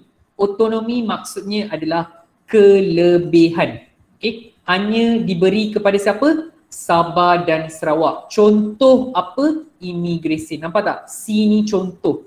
Okay, Selain itu, penduduk Sabah dan Sarawak diberi taraf apa? Bumi putra. Seperti orang apa? Melayu. Seterusnya, rakyat Sarawak dan Sabah diberi apa? Kebebasan beragama. Okey. Selain itu, Sabah dan Sarawak diberi kelebihan untuk menubuhkan kabinet. Negeri lain ada ke? Tak ada. Negeri lain boleh jaga immigration ke? Tak ada. Okey, kenapa? Sebab ini adalah otonomi yang hanya diberi kepada siapa? Sabah dan Sarawak. Kenapa kita bagi pada Sabah dan Sarawak sahaja? Sebab mereka dah minta benda ni semasa masuk dalam Malaysia. Okay, jadi kita bagi. Okay, next. Kita ada berapa fakta? Empat fakta. Berapa contoh? Satu contoh. Total berapa? Lima. Soalan ditanya berapa? Tiga. Saya bagi ekstra. Okay. Next. Kita tengok satu soalan last untuk struktur. Okay. Uh, Zulaika, cadangkan satu nama Zulaika. Siapa boleh jawab yang pertama Zulaika? Um, Izaha. Izaha. Izaha, ada tak Izaha? Ada Izaha. Ah, okey. Saya nak soalan yang pertama Izaha. Jawapan? Dua taman laut di bawah pengurusan Taman-Taman Sabah ialah Mhm. Taman Tunku Abdul Rahman, Kota Kinabalu Okey. dan Taman Pulau Sipadan Sempurna. Okey, jawapan betul. Okey, kalau kita tengok tapi jawapan dia hari tu saya bagi benda ni dalam peperiksaan pertengahan tahun kamu. Betul tak? Betul tak? Betul tak? Betul. Betul. Dalam peperiksaan pertengahan tahun kamu. Okey. So, tengok kat sini. Okey, soalan dia bagi berapa Roman? Dua Roman. Saya tambah Roman sendiri. Boleh ke tambah se? Boleh. Tapi ada satu syarat. Kalau dia buat Roman, baru kamu boleh buat Roman sendiri. Okey? So ingat kalau dia buat Roman 1 2, kamu boleh tambah ekstra untuk 3 dan 4. Okey, salah ke? Tak salah. Okey? Sebab apa? Dia dah buat, kita follow. Okey, kalau dia tak buat, janganlah buat. Okey? So itu je, simple je. Okey. Iza, cadangkan lagi satu nama Iza. Kairunisa Zaidi sir.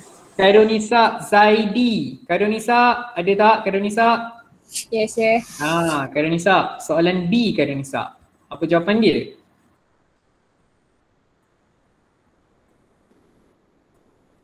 Ha, dah sir.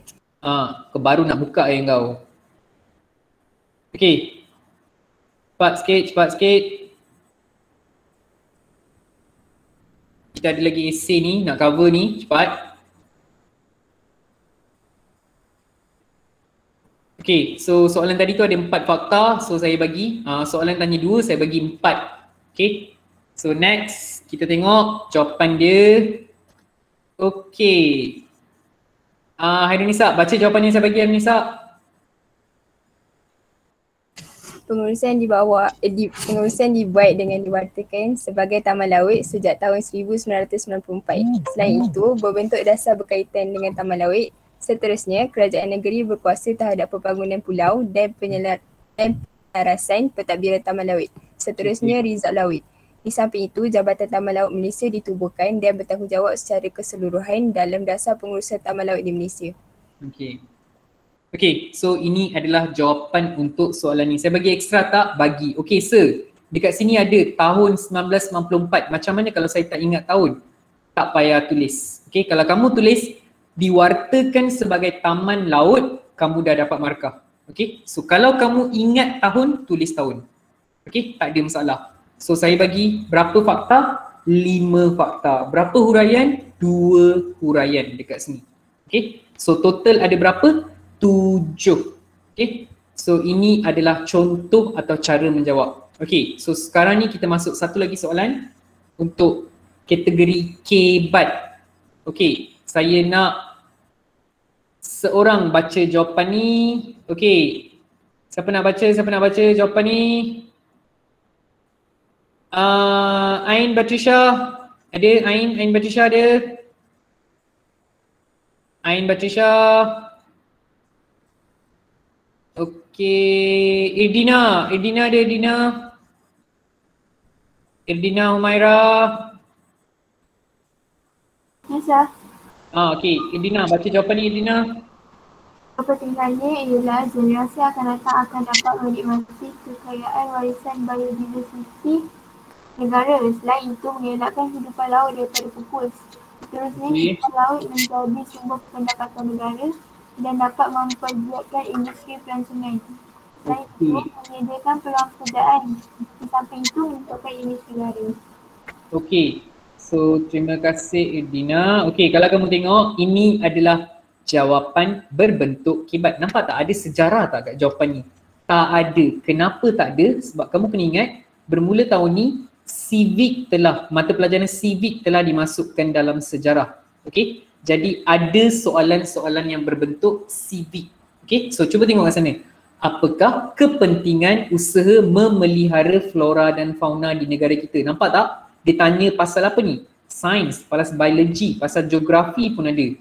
Okay? So kepentingannya ialah generasi. Nampak tak saya ambil kat depan ni je. Kepentingannya ialah. Nampak tak? Dua perkataan je saya start. Tak perlu panjang-panjang.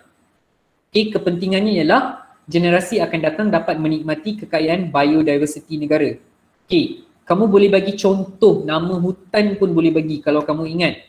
Okay, selain itu mengelakkan hidupan laut daripada pupus. Seterusnya, hidupan laut menjadi sumber pendapatan negara. Banyak orang dari dekat negara kita bergantung kepada laut. Okay, lepas tu dapat mempergiatkan industri pelancongan. Okay, so ramai orang pergi bercuti di pulau, betul tak? Jadi apa yang berlaku bila mereka bercuti kat pulau? Menyediakan peluang pekerjaan. Okay, lepas tu apa yang berlaku bila adanya peluang pekerjaan? Okay, mereka dapat tingkatkan taraf hidup. Kamu boleh tambah jawapan kat sini. Okay, selain itu menyediakan peluang pekerjaan dan meningkatkan taraf hidup rakyat. Dapat markah tak? Dapat markah. Okay, lepas tu meningkatkan image negara. Kenapa? sebab kita jaga pulau. Jadi negara luar akan puji usaha kita. Okay, so ini adalah salah satu contoh untuk jawapan kebat. Okay, so kelas boleh faham tak? Ramai-ramai boleh faham tak? Boleh. Saya nak dengar lima pedek dua je. Faham tak semua lima pedek dua? Faham sir. Faham. Orang tu. Faham. Tiga je. Faham. Empat, lima. Faham, enam. Okey, saya nak dengar elect satu. Kuat ke elect satu? Faham. Saya nak dengar lagi kuat lima pedek satu. Dengar ke? Faham ke pedek satu? Faham sir. Faham. Okey, kita pergi kepada next. So saya dah cover soalan struktur eh. Okey. So next Okey, ah terlupa tadi. Yang ni adalah berapa fakta? Enam fakta. Okey. So ingat cadangan jawapan untuk kebat ada banyak. Okey. So jawapan kamu akan diterima sekiranya apa? Logik dan apa? Munasabah. Okey. So jawapan kamu akan diterima sekiranya logik dan munasabah. So jangan takut untuk apa? Mencuba soalan kebat. Itu je. Okay. Dalam sejarah kamu tak boleh takut. Okay. Kalau kamu takut menulis, kamu tak akan dapat markah. Kalau salah, biarlah salah. Ada potong markah? Tak perlu. Okay. Tak ada potong markah. Jadi kenapa nak takut? Okay. So next kita tengok. Ah, okay ini kena ingat. Okay. Ah, kita tag, uh, kita tengok kamu pandai ke tak pandai. Okay sebelum kita pergi kepada kertas 2 bahagian esay, saya nak test kamu. Okey, soalan pertama, siapa boleh jawab? Bagaimana nak tangkap empat ekor burung sekaligus? Tangkap gambar cikgu. Tangkap gambar Okey. warna. Tangkap gambar, Aidun Azmi cakap tangkap gambar. Yang lain betul ke?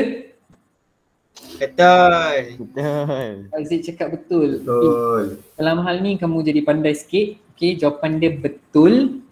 Okay, next. Kita tengok lagi. Okay, daripada banyak-banyak kucing, kucing apa yang ada sembilan kaki? Okay you. Okay, you salah. Kucing taimu salah. Kucing beranak salah. Alien salah. Wahidah, apa jawapan dia Wahidah? Alien, lagi-lagi, try lagi. Kucing apa yang ada sembilan kaki? Oh, Yen yang salah. kaki lima. Uh, Zainul cakap apa Zainul? Kuat sikit Zainul. Kucing yang berjalan di kaki lima. Kucing yang berjalan di kaki lima. Ya, betul. Okey. Kucing yang dekat kaki lima ada berapa kaki? Sembilan kaki. Okey. Next. Kita tengok satu lagi soalan. Okey, bunga apa yang kita siram ianya akan mati? Bunga apa, bunga apa, bunga apa? Cactus salah. Cactus kau siram mati ke Nabahan? Bunga api, bunga api, bunga api. Okey. Jawapan dia betul. Bunga tak ayam salah Syakir. Okey, jawapannya bunga api. Betul. Okey. So, boleh kita gerak ke next kertas dua untuk esay. Boleh tak semua? Boleh? Boleh. Boleh. So kita gerak ke next kertas dua. Okay prepare dengan kamu punya kertas ya. Kejap lagi kita akan buat latihan. Okay so kita pergi ke kertas dua. Okay, yang pertama bahagian B. Tadi kita dah tengok struktur bahagian A ya. Sekarang kita tengok bahagian B, essay. Okay essay ni ada berapa job, uh, berapa soalan? Lima soalan. Pilih berapa? Tiga sahaja. Boleh tak tulis lebih? Boleh. Tapi pastikan kamu dah siapkan tiga esei tu dulu sebelum gerak ke soalan yang keempat iaitu soalan ekstra yang kamu nak tulis. Okay, so ingat esei ada berapa? Lima. Kena jawab berapa? Tiga. Okay, so daripada uh, soalan lima soalan tu dua atau tiga soalan adalah daripada tingkatan berapa? Empat dua atau ingat eh dua atau tiga soalan adalah daripada tingkatan berapa? Lima. Jadi uh, minimum dua soalan mesti keluar daripada tingkatan empat dengan tingkatan lima. Okay, so ingat next markah untuk satu esei adalah berapa? Dua puluh. Okay, so kalau kamu darab dengan tiga kamu akan dapat berapa markah? Enam puluh markah. Banyak tak? sangat banyak. Okay, so tolong jangan tinggal mana-mana soalan esei. Kamu akan hilang berapa markah by 20 markah. Okay, so pastikan kamu tak tinggal mana-mana soalan. Okay, next ada pecahan. Soalan esei ni ada pecahan. Kadang-kadang ada A, ada B saja. Kadang-kadang ada A, B, C, Kadang-kadang ada A, B, C, D dan E pun pernah ada. Okey, pecahan. Okey, kebiasaannya macam biasa soalan akhir dia adalah soalan apa? K, but. Okey. Dan jawab dengan ayat lengkap. Kalau dengan struktur tadi kamu cuma ambil dua ayat saja. Kalau esei ni tulis panjang sikit, panjang sikit je. Saya tak suruh kamu tulis panjang banyak. Panjang sikit sahaja. Okey. Lepas tu, satu soalan kamu akan peruntukkan berapa minit? 30 minit sahaja. Kalau kamu tengok tiga soalan esei, kamu akan uh, apa peruntukkan masa sebanyak 1 jam 30 minit. Okay? So 1 jam 30 minit ni untuk berapa soalan? 30 soalan. Jadi 1 jam tadi tu soalan struktur. Jadi bila tambah 2 jam 30 minit. Okay? So ingat setiap soalan untuk esei kamu boleh peruntukkan masa sebanyak 30 minit. Okay, kalau dah lebih daripada 30 minit, jam ke soalan seterusnya. Jangan lama-lama duduk dekat satu soalan. Kamu akan bazirkan masa. Okay. So next. Ah, ini adalah kamu punya kertas jawapan ataupun test pad ataupun kertas kajang. Okay. So ingat bila kamu dapat test pad ni, Okey, tolong ingat kamu kena kosongkan kiri dan kanan. Tulis jawapan dekat mana? Tengah. Okey.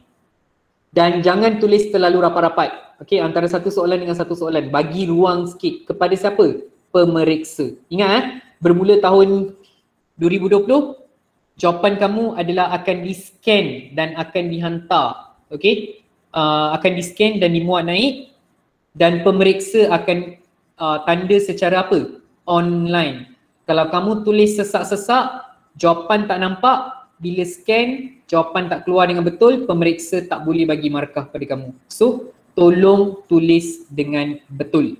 Okay, bagi ruang. Okay, kalau dah terpaksa nazak, tiba-tiba baru ingat isi nak tambah, tak apa, tak ada masalah. Okay. So, untuk memudahkan pemeriksa, tulis pada ruangan jawapan yang disediakan. Tulis nombor soalan. Wajib. Kamu pilih nombor lima, tulis nombor lima. Lima A, tulis lima A. Lima B, tulis lima B. Lima C, tulis lima C. Okay, tulisan tak perlu cantik tapi pastikan mudah dibaca, kemas dan teratur. Okay, hanya gunakan pen berwarna apa? Biru dan hitam sahaja. Boleh tak guna hijau? Tak boleh. Kalau scan nampak tak? Tak nampak. Nanti siapa masalah? Kamu bermasalah. Okay. Lepas tu, baca soalan dengan teliti. Kenal pasti kata tugas. Okay. Apakah, siapakah, mengapakah, jelaskan, berikan, senaraikan. Itu adalah kata tugas. Okay. Jawapan memerlukan pembukaan. Kamu tulis ayat kamu, buka ayat kamu dengan ringkas sahaja. Tak perlu panjang-panjang. Ada markah untuk ayat panjang tak? Tak ada. Okay. Setiap isi yang menepati peraturan pemarkahan akan diberi. Okay. Sama juga macam uh, struktur, satu markah untuk fakta, huraian atau contoh. Tahun penting tak? Tak penting tidak perlu ulas sesuatu tema ataupun huraian yang panjang. Okay, nanti saya akan bagi tahu cara apa benda ni maksud dia. Okay, next. Okay, beri contoh jika ingat. Kena bagi berapa contoh sir? Bagi satu atau dua sahaja. Jangan bagi banyak-banyak contoh untuk uh, fakta yang sama. Okay, fakta yang berbeza-beza bagilah contoh yang berbeza. Tapi kalau untuk fakta yang sama, janganlah bagi contoh yang sama banyak-banyak. Okay, so next tiada penambahan markah atau pengurangan markah pada bila laras bahasa. Okay, so semua orang yang buat uh, bahasa ekstra, peribahasa ekstra, pantun, ada markah ke? Tak ada. So kenapa nak buat? Tak payahlah buat. Okay, uh, ejaan tidak dipentingkan. Kalau bunyi dah okey, ejaan salah, tak apa. Tak ada, ada potong markah? Tak ada. Okay, markah tetap akan diberi. Okey, boleh guna singkatan? Boleh untuk benda-benda tertentu. Macam yang di Pertuan Agong, Dasar Ekonomi Baru, Persekutuan Tanah Melayu, kita boleh gunakan PTM. Dan jangan salin soalan. Kamu hanya perlu tulis jawapan sahaja pada kertas dua. Tak perlu salin soalan. Okey, tuliskan nombor soalan dengan jelas dan susun jawapan dengan tertib. Maksudnya ikut urutan jangan tinggal mana-mana soalan yang telah dipilih. Okay, dan paling penting kelas, kebat jangan lupa jawab. Okay. Next, okay, kita tengok satu soalan dulu eh. Okay kelas, uh, saya nak kamu cari kata kunci kat sini. Apa dia kata kunci kelas? Kata kunci, kata kunci, kata kunci. Razik, kata kunci dia apa Razik? Ah, okay, boleh. Siapa tadi? Razik. Amalan demokrasi. Amalan demokrasi. Amalan demokrasi. Okey, Razik cakap amalan demokrasi. Okey, so yang ni adalah soalan berbentuk apa? Fakta. Okey, amalan demokrasi. Okey, so dia tanya bagaimanakah pilihan raya di negara kita dilaksanakan. Okey, saya nak seorang jawab, saya offer satu lagi food panda, siapa cepat dia dapat. Okay, bacakan jawapan dia. Siapa nak try, boleh try. Cepat sikit. Cepat, cepat, cepat, cepat, cepat. Siapa nak try, jawapan dah ada dekat muka surat tu. Saya dah bagi cara nak buat jawapan macam mana. Siapa nak try? Cepat, cepat, cepat, cepat. Food panda menanti. Cepat, cepat.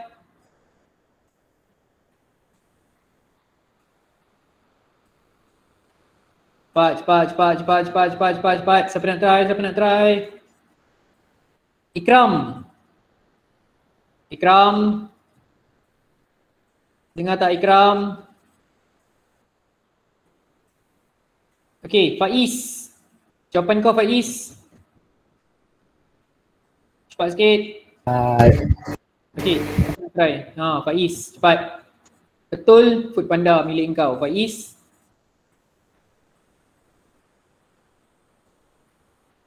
Dah ke Pak Is? Cepat sikit.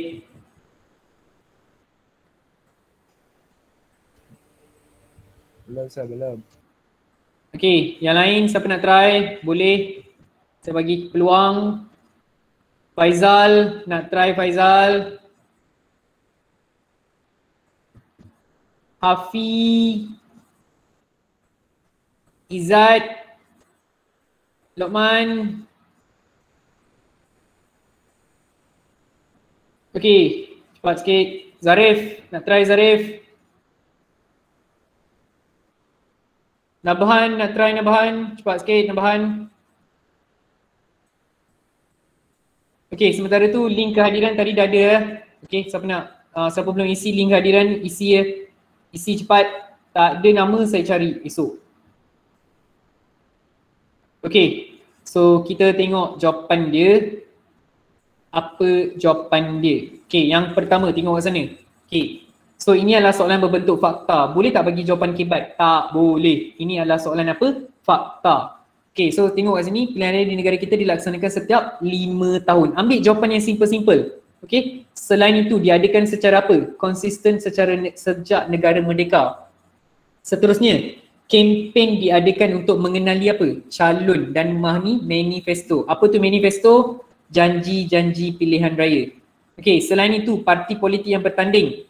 Okay, mendapatkan, uh, parti politik bertanding untuk mendapatkan mandat Okey, selain itu rakyat menyemak nama pada daftar pemilih sebelum mengundi. Seterusnya, undi adalah apa?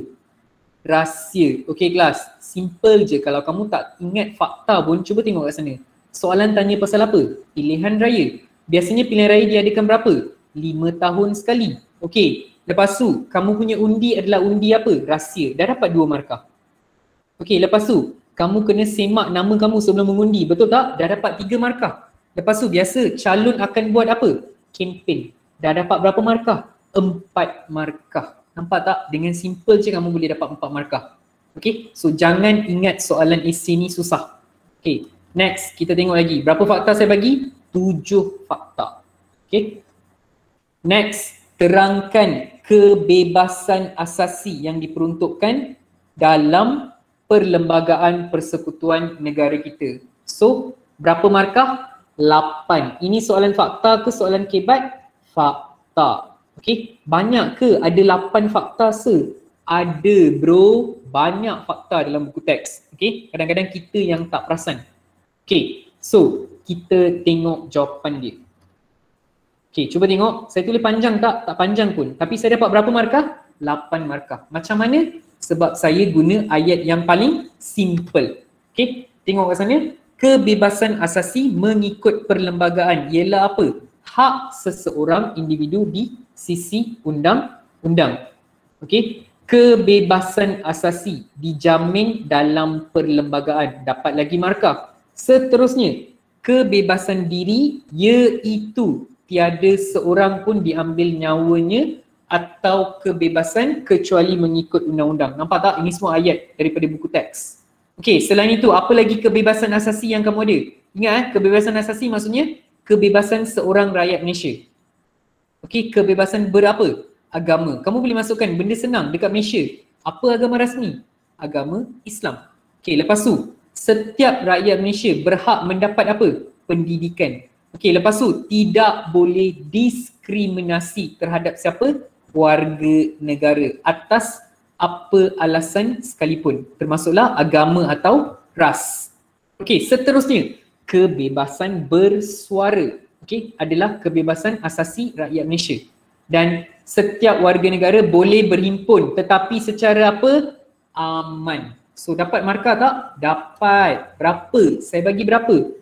Enam fakta. Berapa huraian? Tiga huraian. Berapa contoh? Dua contoh. Contoh agama atau ras satu contoh, berhimpun secara aman satu lagi contoh. Nampak tak? So, saya dah dapat berapa markah kat sini? Sepuluh. Okay, perlu tak tulis panjang-panjang? Tak perlu. Okay, next kita tengok soalan lain pula. Okay, pada pendapat anda, bagaimanakah rakyat dapat memelihara kebebasan asasi bagi menjamin ketentraman dan kesejahteraan awam? Okay, so ini adalah soalan apa? Kebat. Okay, soalan kebat. Okay, soalan ditanya, bagaimana rakyat boleh pelihara kebebasan asasi dia? Okay, yang pertama, kebebasan asasi boleh dipatuhi dengan apa? Mematuhi undang-undang. Okey, contohnya tidak melakukan perkara yang melanggar undang-undang. Okey, dengan menyertai perhimpunan haram. Nampak tak? Saya bagi contoh. Okey, Selain itu berusaha menaikkan image negara di mata dunia. Nampak tak saya bagi contoh. Apa contoh dia? Malaysia di sukan Olimpik. Okey, seterusnya setia kepada raja dan negara. Okey, itu adalah fakta dia. Apa dia punya contoh? Menyertai pertubuhan haram. Bagi contoh, apa contoh pertubuhan haram? IS. Okey, mengeratkan perpaduan rakyat Malaysia dengan menghormati kepercayaan agama lain. Okey, seterusnya berusaha membantras gejala sosial. Apa contoh dia? Bila gejala sosial, masukkanlah dadah. Dapat markah tak? Dapat. Okey, tambahan pula menghormati pandangan dan pendirian orang lain. So bila saya kira ada enam fakta, lima contoh. Total dapat berapa? Sebelas. Okey. So kita tengok satu lagi soalan yang last untuk uh, kamu punya yang ni adalah soalan apa kelas? Soalan dari mana? Daripada mana semua ramai-ramai? Soalan pertengahan tahun kamu. Okay? So bagaimanakah Indonesia menunjukkan rasa tidak puas hati terhadap pembentukan Malaysia? Ini soalan apa? Fakta. Okay. Kata kunci yang pertama, cuba tengok ke atas. Peristiwa penentangan Indonesia terhadap rancangan pembentukan Malaysia. Okay, so soalan, apa dia soalan? Bagaimanakah, nampak tak itu adalah kata tugas. Bagaimanakah Indonesia menunjukkan rasa tak puas hati dia. Okay, so ini adalah soalan apa? Fakta. Okay, contoh jawapan okay, adalah seperti berikut. Okay, Indonesia menunjukkan rasa tidak puas hati dengan melancarkan apa? Dasar konfrontasi. Dapat berapa markah? Satu markah. Memperkenalkan konsep apa? Ganyang Malaysia ataupun kita boleh panggil musnahkan Malaysia. Tapi kita kena tulis Ganyang Malaysia. Okey? Di samping itu, tentera Indonesia melancarkan apa? Serangan gerila di Sarawak. Seterusnya, pendaratan gerila di mana? Johor. Okey, selanjutnya peristiwa berbalas tembakan. Okey, so ini semua adalah contoh jawapan. Okey, So saya bagi berapa fakta? Enam fakta. Okay. Soalan tanya berapa? Enam. Okay, boleh? So next kita tengok langkah. Okay kelas. Yang ni kebat ke fakta kelas? Jawab. Jawab, jawab. Ramai-ramai jawab. Razik, ini fakta ke apa Razik? Kebat sir. Fakta. Fakta. Fakta. Fakta. Okay, kalau kita tengok ini adalah soalan fakta. Okey, bukan kebat ya, fakta. Langkah-langkah ni uh, fakta. Okey, kata tugas, mana kata tugas dia? Jelaskan langkah-langkah. Okey, so nampak tak saya dah uh, highlightkan. Okey, lepas tu konfrontasi dengan Indonesia. Okey, apa langkah-langkah dia? Okey, ini adalah soalan berbentuk fakta. Okey, dan ini adalah jawapan dia. Okey, menggunakan pendekatan diplomatik, mendapatkan bantuan PBB, okey. So kena ikut pada fakta. Okey. So saya dah bagi contoh jawapan ya. Okey, so harap kamu baca. Next, kita pergi lagi. Okey, so soalan ni berapa fakta? 8 fakta. Soalan tanya berapa? 6. Saya bagi ekstra berapa? 2. Okey, next. Okey kelas, yang ini adalah soalan fakta ke soalan kebat. Kebat. Kebat. Yang lain lupa. Kebat. Okey, ini adalah soalan kebat. Okey, betul kebat.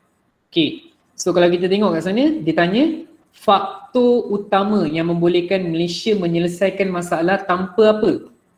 Konflik dengan siapa? Indonesia. Jadi kamu kena bagi tahu macam mana Malaysia settlekan masalah tanpa berperang. Okey. So kata kunci yang pertama, kata kunci yang kedua. Okay, ini adalah soalan kebat. Okay, ini adalah contoh bagaimana. Nampak tak saya guna ayat simple aja. Malaysia menyelesaikan masalah dengan Indonesia melalui apa? Diplomasi. Ada tak saya tulis soalan dia panjang-panjang? Tak ada. Selain itu, Malaysia mendapatkan bantuan daripada siapa? PBB. Seterusnya, Malaysia menyelesaikan masalah melalui apa? Rundingan. Nampak tak? Contohnya, saya bagi contoh rundingan yang diadakan di Manila dapat markah. Seterusnya, Malaysia meminta bantuan. Bantuan daripada siapa? Negara Commonwealth semasa diserang oleh Indonesia. Lepas tu kerja sama pemimpin. Bila pemimpin bagilah contoh pemimpin. Paling senang Tun Abdul Razak dengan Soekarno. Kalau tak ingat Soekarno, tulislah Tun Abdul Razak sahaja. Okey? Ataupun tulis Soeharto pun boleh. Okey? Dapat markah tak? Dapat. Setiap benda yang kamu tulis, contoh kamu dapat markah. Selain itu, Malaysia menyelesaikan masalah dengan Indonesia mengikut apa? Undang-undang.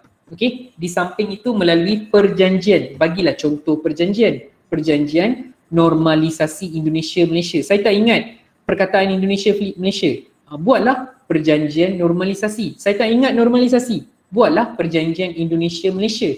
Dapat markah tak? Dapat. Okey, so jangan risau. Okey, kat sini ada berapa fakta? Tujuh fakta. Berapa contoh? Tiga contoh. Total berapa? Sepuluh. Dia tanya berapa? Lapan. Saya bagi ekstra dua. Okay. So kita tengok kelemahan eh. Okay so saya nak pinjam dalam 10 minit. Boleh tak? Boleh tak? Boleh tak? Boleh tak semua? Boleh. Boleh tak? Boleh. Boleh. Boleh. Okay. So tengok kat sana bagaimana kelemahan calon. Okay. So yang pertama kelemahan dia tidak menjawab soalan, berfokuskan soalan. Perkara yang tidak penting kamu tulis panjang-panjang. Lepas tu kan kamu ada satu uh, sikap tau, kamu suka goreng. Kamu guna perkataan goreng, kamu goreng, goreng, goreng, goreng. Tapi ada ada jawapan tak? Ada isi fakta huraian contoh tak? Tak ada. Okay lepas tu, tiada contoh. Kalau kamu bagi contoh, kamu dapat apa? Markah. Huraian terlalu umum, maksudnya tak ada isi. Okey, yang kedua, tidak menjawab mengikut pecahan soalan A, B, C. Kamu campurkan sekali. Kesilapan fakta atau isi fakta tiada kaitan. Kelemahan kamu pilih soalan. Kamu pilih soalan yang salah. Okey. Lepas tu, mengulangi soalan. Jawab tak ikut format. Tidak mengikut ataupun tidak menggunakan penanda wacana. Kenapa saya ajar kamu guna penanda wacana? Selain itu, di samping itu, seterusnya, okey, tambahan kenapa saya guna? Sebab nak memudahkan kamu buat ayat. Okey, seterusnya, kita tengok satu contoh jawapan calon ya. Okey, soalan dia ditanya, huraikan kepentingan mewujudkan negara berdaulat. Cuba tengok jawapan yang pertama daripada calon. Okey, kamu bagi markah tak untuk jawapan ni? Ada tak dia menjawab soalan? Cuba cek ramai-ramai. Okey, Khairul Nisa, bagi markah tak Khairul Nisa? Untuk jawapan ni. Ha? Bagi tak markah untuk jawapan ni? Uh, uh, bagi. Bagi. Khairul Nisa, kau bagi berapa Khairul Nisa? Uh, tiga. Tiga. Eh tak tak dua dua. Tiga, dua. Najwa, kau bagi tak markah untuk soalan ni Najwa? Tak sir. Tak, Najwa tak bagi. Razik, kau bagi tak jawapan jawapan uh, markah untuk soalan ni Razik? Tak sir. Tak, Razik tak bagi. Azumi, kau bagi tak markah Azumi? Ah, uh, ha. Tak, okey. Betul ke, tak ke ataupun boleh tak bagi markah? Fakta salah, tidak relevan. Berapa markah? Kosong markah. Ada isi tak kat sini? Tak ada. Dia hanya apa? Mengulas soalan. Okey, sepatutnya macam mana? Ha, cuba tengok kat sini. Kepentingan dia tak buat pun jawapan pertama tu dia tak tulis pun macam mana nak start ayat pun salah. Okey, so nampak jawapan kedua. Kepentingan mewujudkan negara berdaulat ialah, nampak tak? Okey, keberkesanan pentadbiran. Okey, pentadbiran negara dapat dijalankan tanpa campur tangan pihak luar. Okey, nampak tak? Berbeza dengan atas dengan bawah. Okey, bawah ni ada fakta, ada huraian, ada contoh. Okey, fakta betul, isi diterima. Okey, ini adalah contoh jawapan yang betul. Okey, kita tengok satu lagi kelemahan calon, jawapan dia. Okey, ditanya apakah langkah-langkah yang boleh lakukan rakyat Malaysia, fokus pada rakyat Malaysia eh, untuk mempertahankan kedaulatan negara. Ada dekat buku teks, buku surat 12 dengan 13. Okey, kalau kita tengok, ini adalah jawapan. Ada markah? Tak ada markah. Liana, ada markah tak Liana untuk soalan ni Liana? Ada tak? Tak ada. Tak ada. Okay. Ain Nadila, Ain, Ain Nadila ada ada markah tak Ain? Untuk soalan ni, untuk jawapan ni? Ada. Tak ada. Okay. Kalau kita tengok jawapan ni tidak ada markah sebab fakta salah. Tidak relevan. Lepas tu tiada penanda wacana. Okay. So sepatutnya jawapan ni adalah yang kat bawah ni. Okay. So langkah yang diambil oleh rakyat Malaysia ialah memberikan kesetiaan kepada raja dan negara, mematuhi undang-undang, menyokong dasar kerajaan. Jawapan ni se ambil kat mana? Daripada buku teks. Okay. So fakta betul. Isi diterima.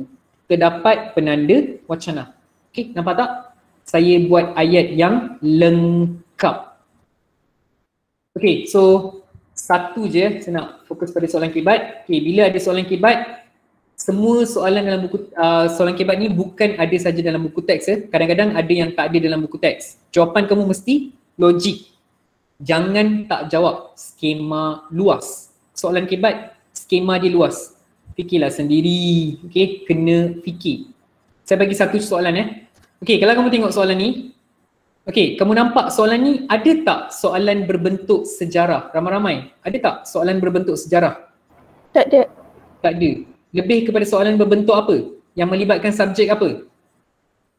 Science. Lagi apa? Biology. Okay, geografi. Okay, tapi sebenarnya ini adalah soalan sejarah. Okay, so sebab saya cakap, ingat eh, saya cakap civic dah dimasukkan dalam sejarah eh. Jadi soalan kadang-kadang lebih kepada civic. Biasanya soalan kebat macam ni, contoh soalan kebat. Ada dekat syllabus tak? Ada. Tengok dekat atas saya dah siap letak. Okay, ada dekat syllabus. Okay, cara menjaga alam sekitar. Okay, so ini adalah contoh bagaimanakah pelaksanaan kempen dapat membantu menjaga kelestarian alam sekitar di Malaysia. Okay, dia tanya pasal apa? Alam sekitar. Contoh jawapan. Ha, ini contoh jawapan dia. Ada tak mana-mana jawapan yang merujuk kepada sejarah? Ada tak jawapan yang merujuk kepada sejarah? Tak ada. Ha, nampak tak? So ini adalah sejarah. Jangan ingat sejarah ni hanya sejarah. Okay, dia merangkumi subjek-subjek lain pun sekali. Jawapan kamu. Okay, so sebab tu saya cakap bila keluar soalan kebat, kamu boleh masukkan subjek daripada sejak uh, daripada biologi, daripada fizik, okey, daripada bahasa Melayu boleh masukkan. Okey, contoh, pelaksanaan kempen ini dapat menambah keluasan kawasan hijau di Malaysia, lebih banyak kawasan akan diliputi pokok yang membekalkan oksigen, seterusnya mewujudkan kawasan rekreasi. Saya bagi contoh, contoh taman. Contoh Taman Botani dan Taman Tasik Taiping. Okey, mewujudkan bandar dalam taman. Okey, lepas tu fenomena pulau haba. Ni semua yang kamu belajar dalam biologi atau geografi. Okay. Bandar Putrajaya, Kuala Lumpur mengurangkan masalah pemanasan global. Di samping menyerap karbon dioksida dan menyederhanakan suhu dan memberi perlindungan kepada hidupan liar seterusnya hakisan tanah. So nampak tak? Okay dekat sini saya akan dapat 12 isi. Okay iaitu ada fakta, huraian dan contoh. Okay, so that's wrap up untuk hari ni. So kelas, kalau kamu tengok motivasi yang terbaik bagi setiap insan datang daripada siapa kelas? Motivasi terbaik adalah siapa? Diri sendiri. Diri sendiri. Tak kisahlah siapa pun bagi motivasi, siapa pun yang bercakap kena datang daripada diri sendiri. Okay? So apa-apa usaha kamu pastikan kamu sentiasa cheer upkan diri kamu. Kalau kamu buat mana-mana benda tanpa ada motivasi, benda tu tak akan berjaya. So ingat, sentiasa memotivasikan diri kamu. Come on, come on. Okay. So saya rasa itu sahaja dan good luck, all the best. So jangan lupa isi kehadiran. Terima kasih kerana join dan esok uh, siapa yang ada kelas dengan saya jangan lupa. Okay, so terima kasih kelas. Saya harap kamu dapat sesuatu pada hari ini. Dapat ke? Dapat. Dapat. Dapat. Okay.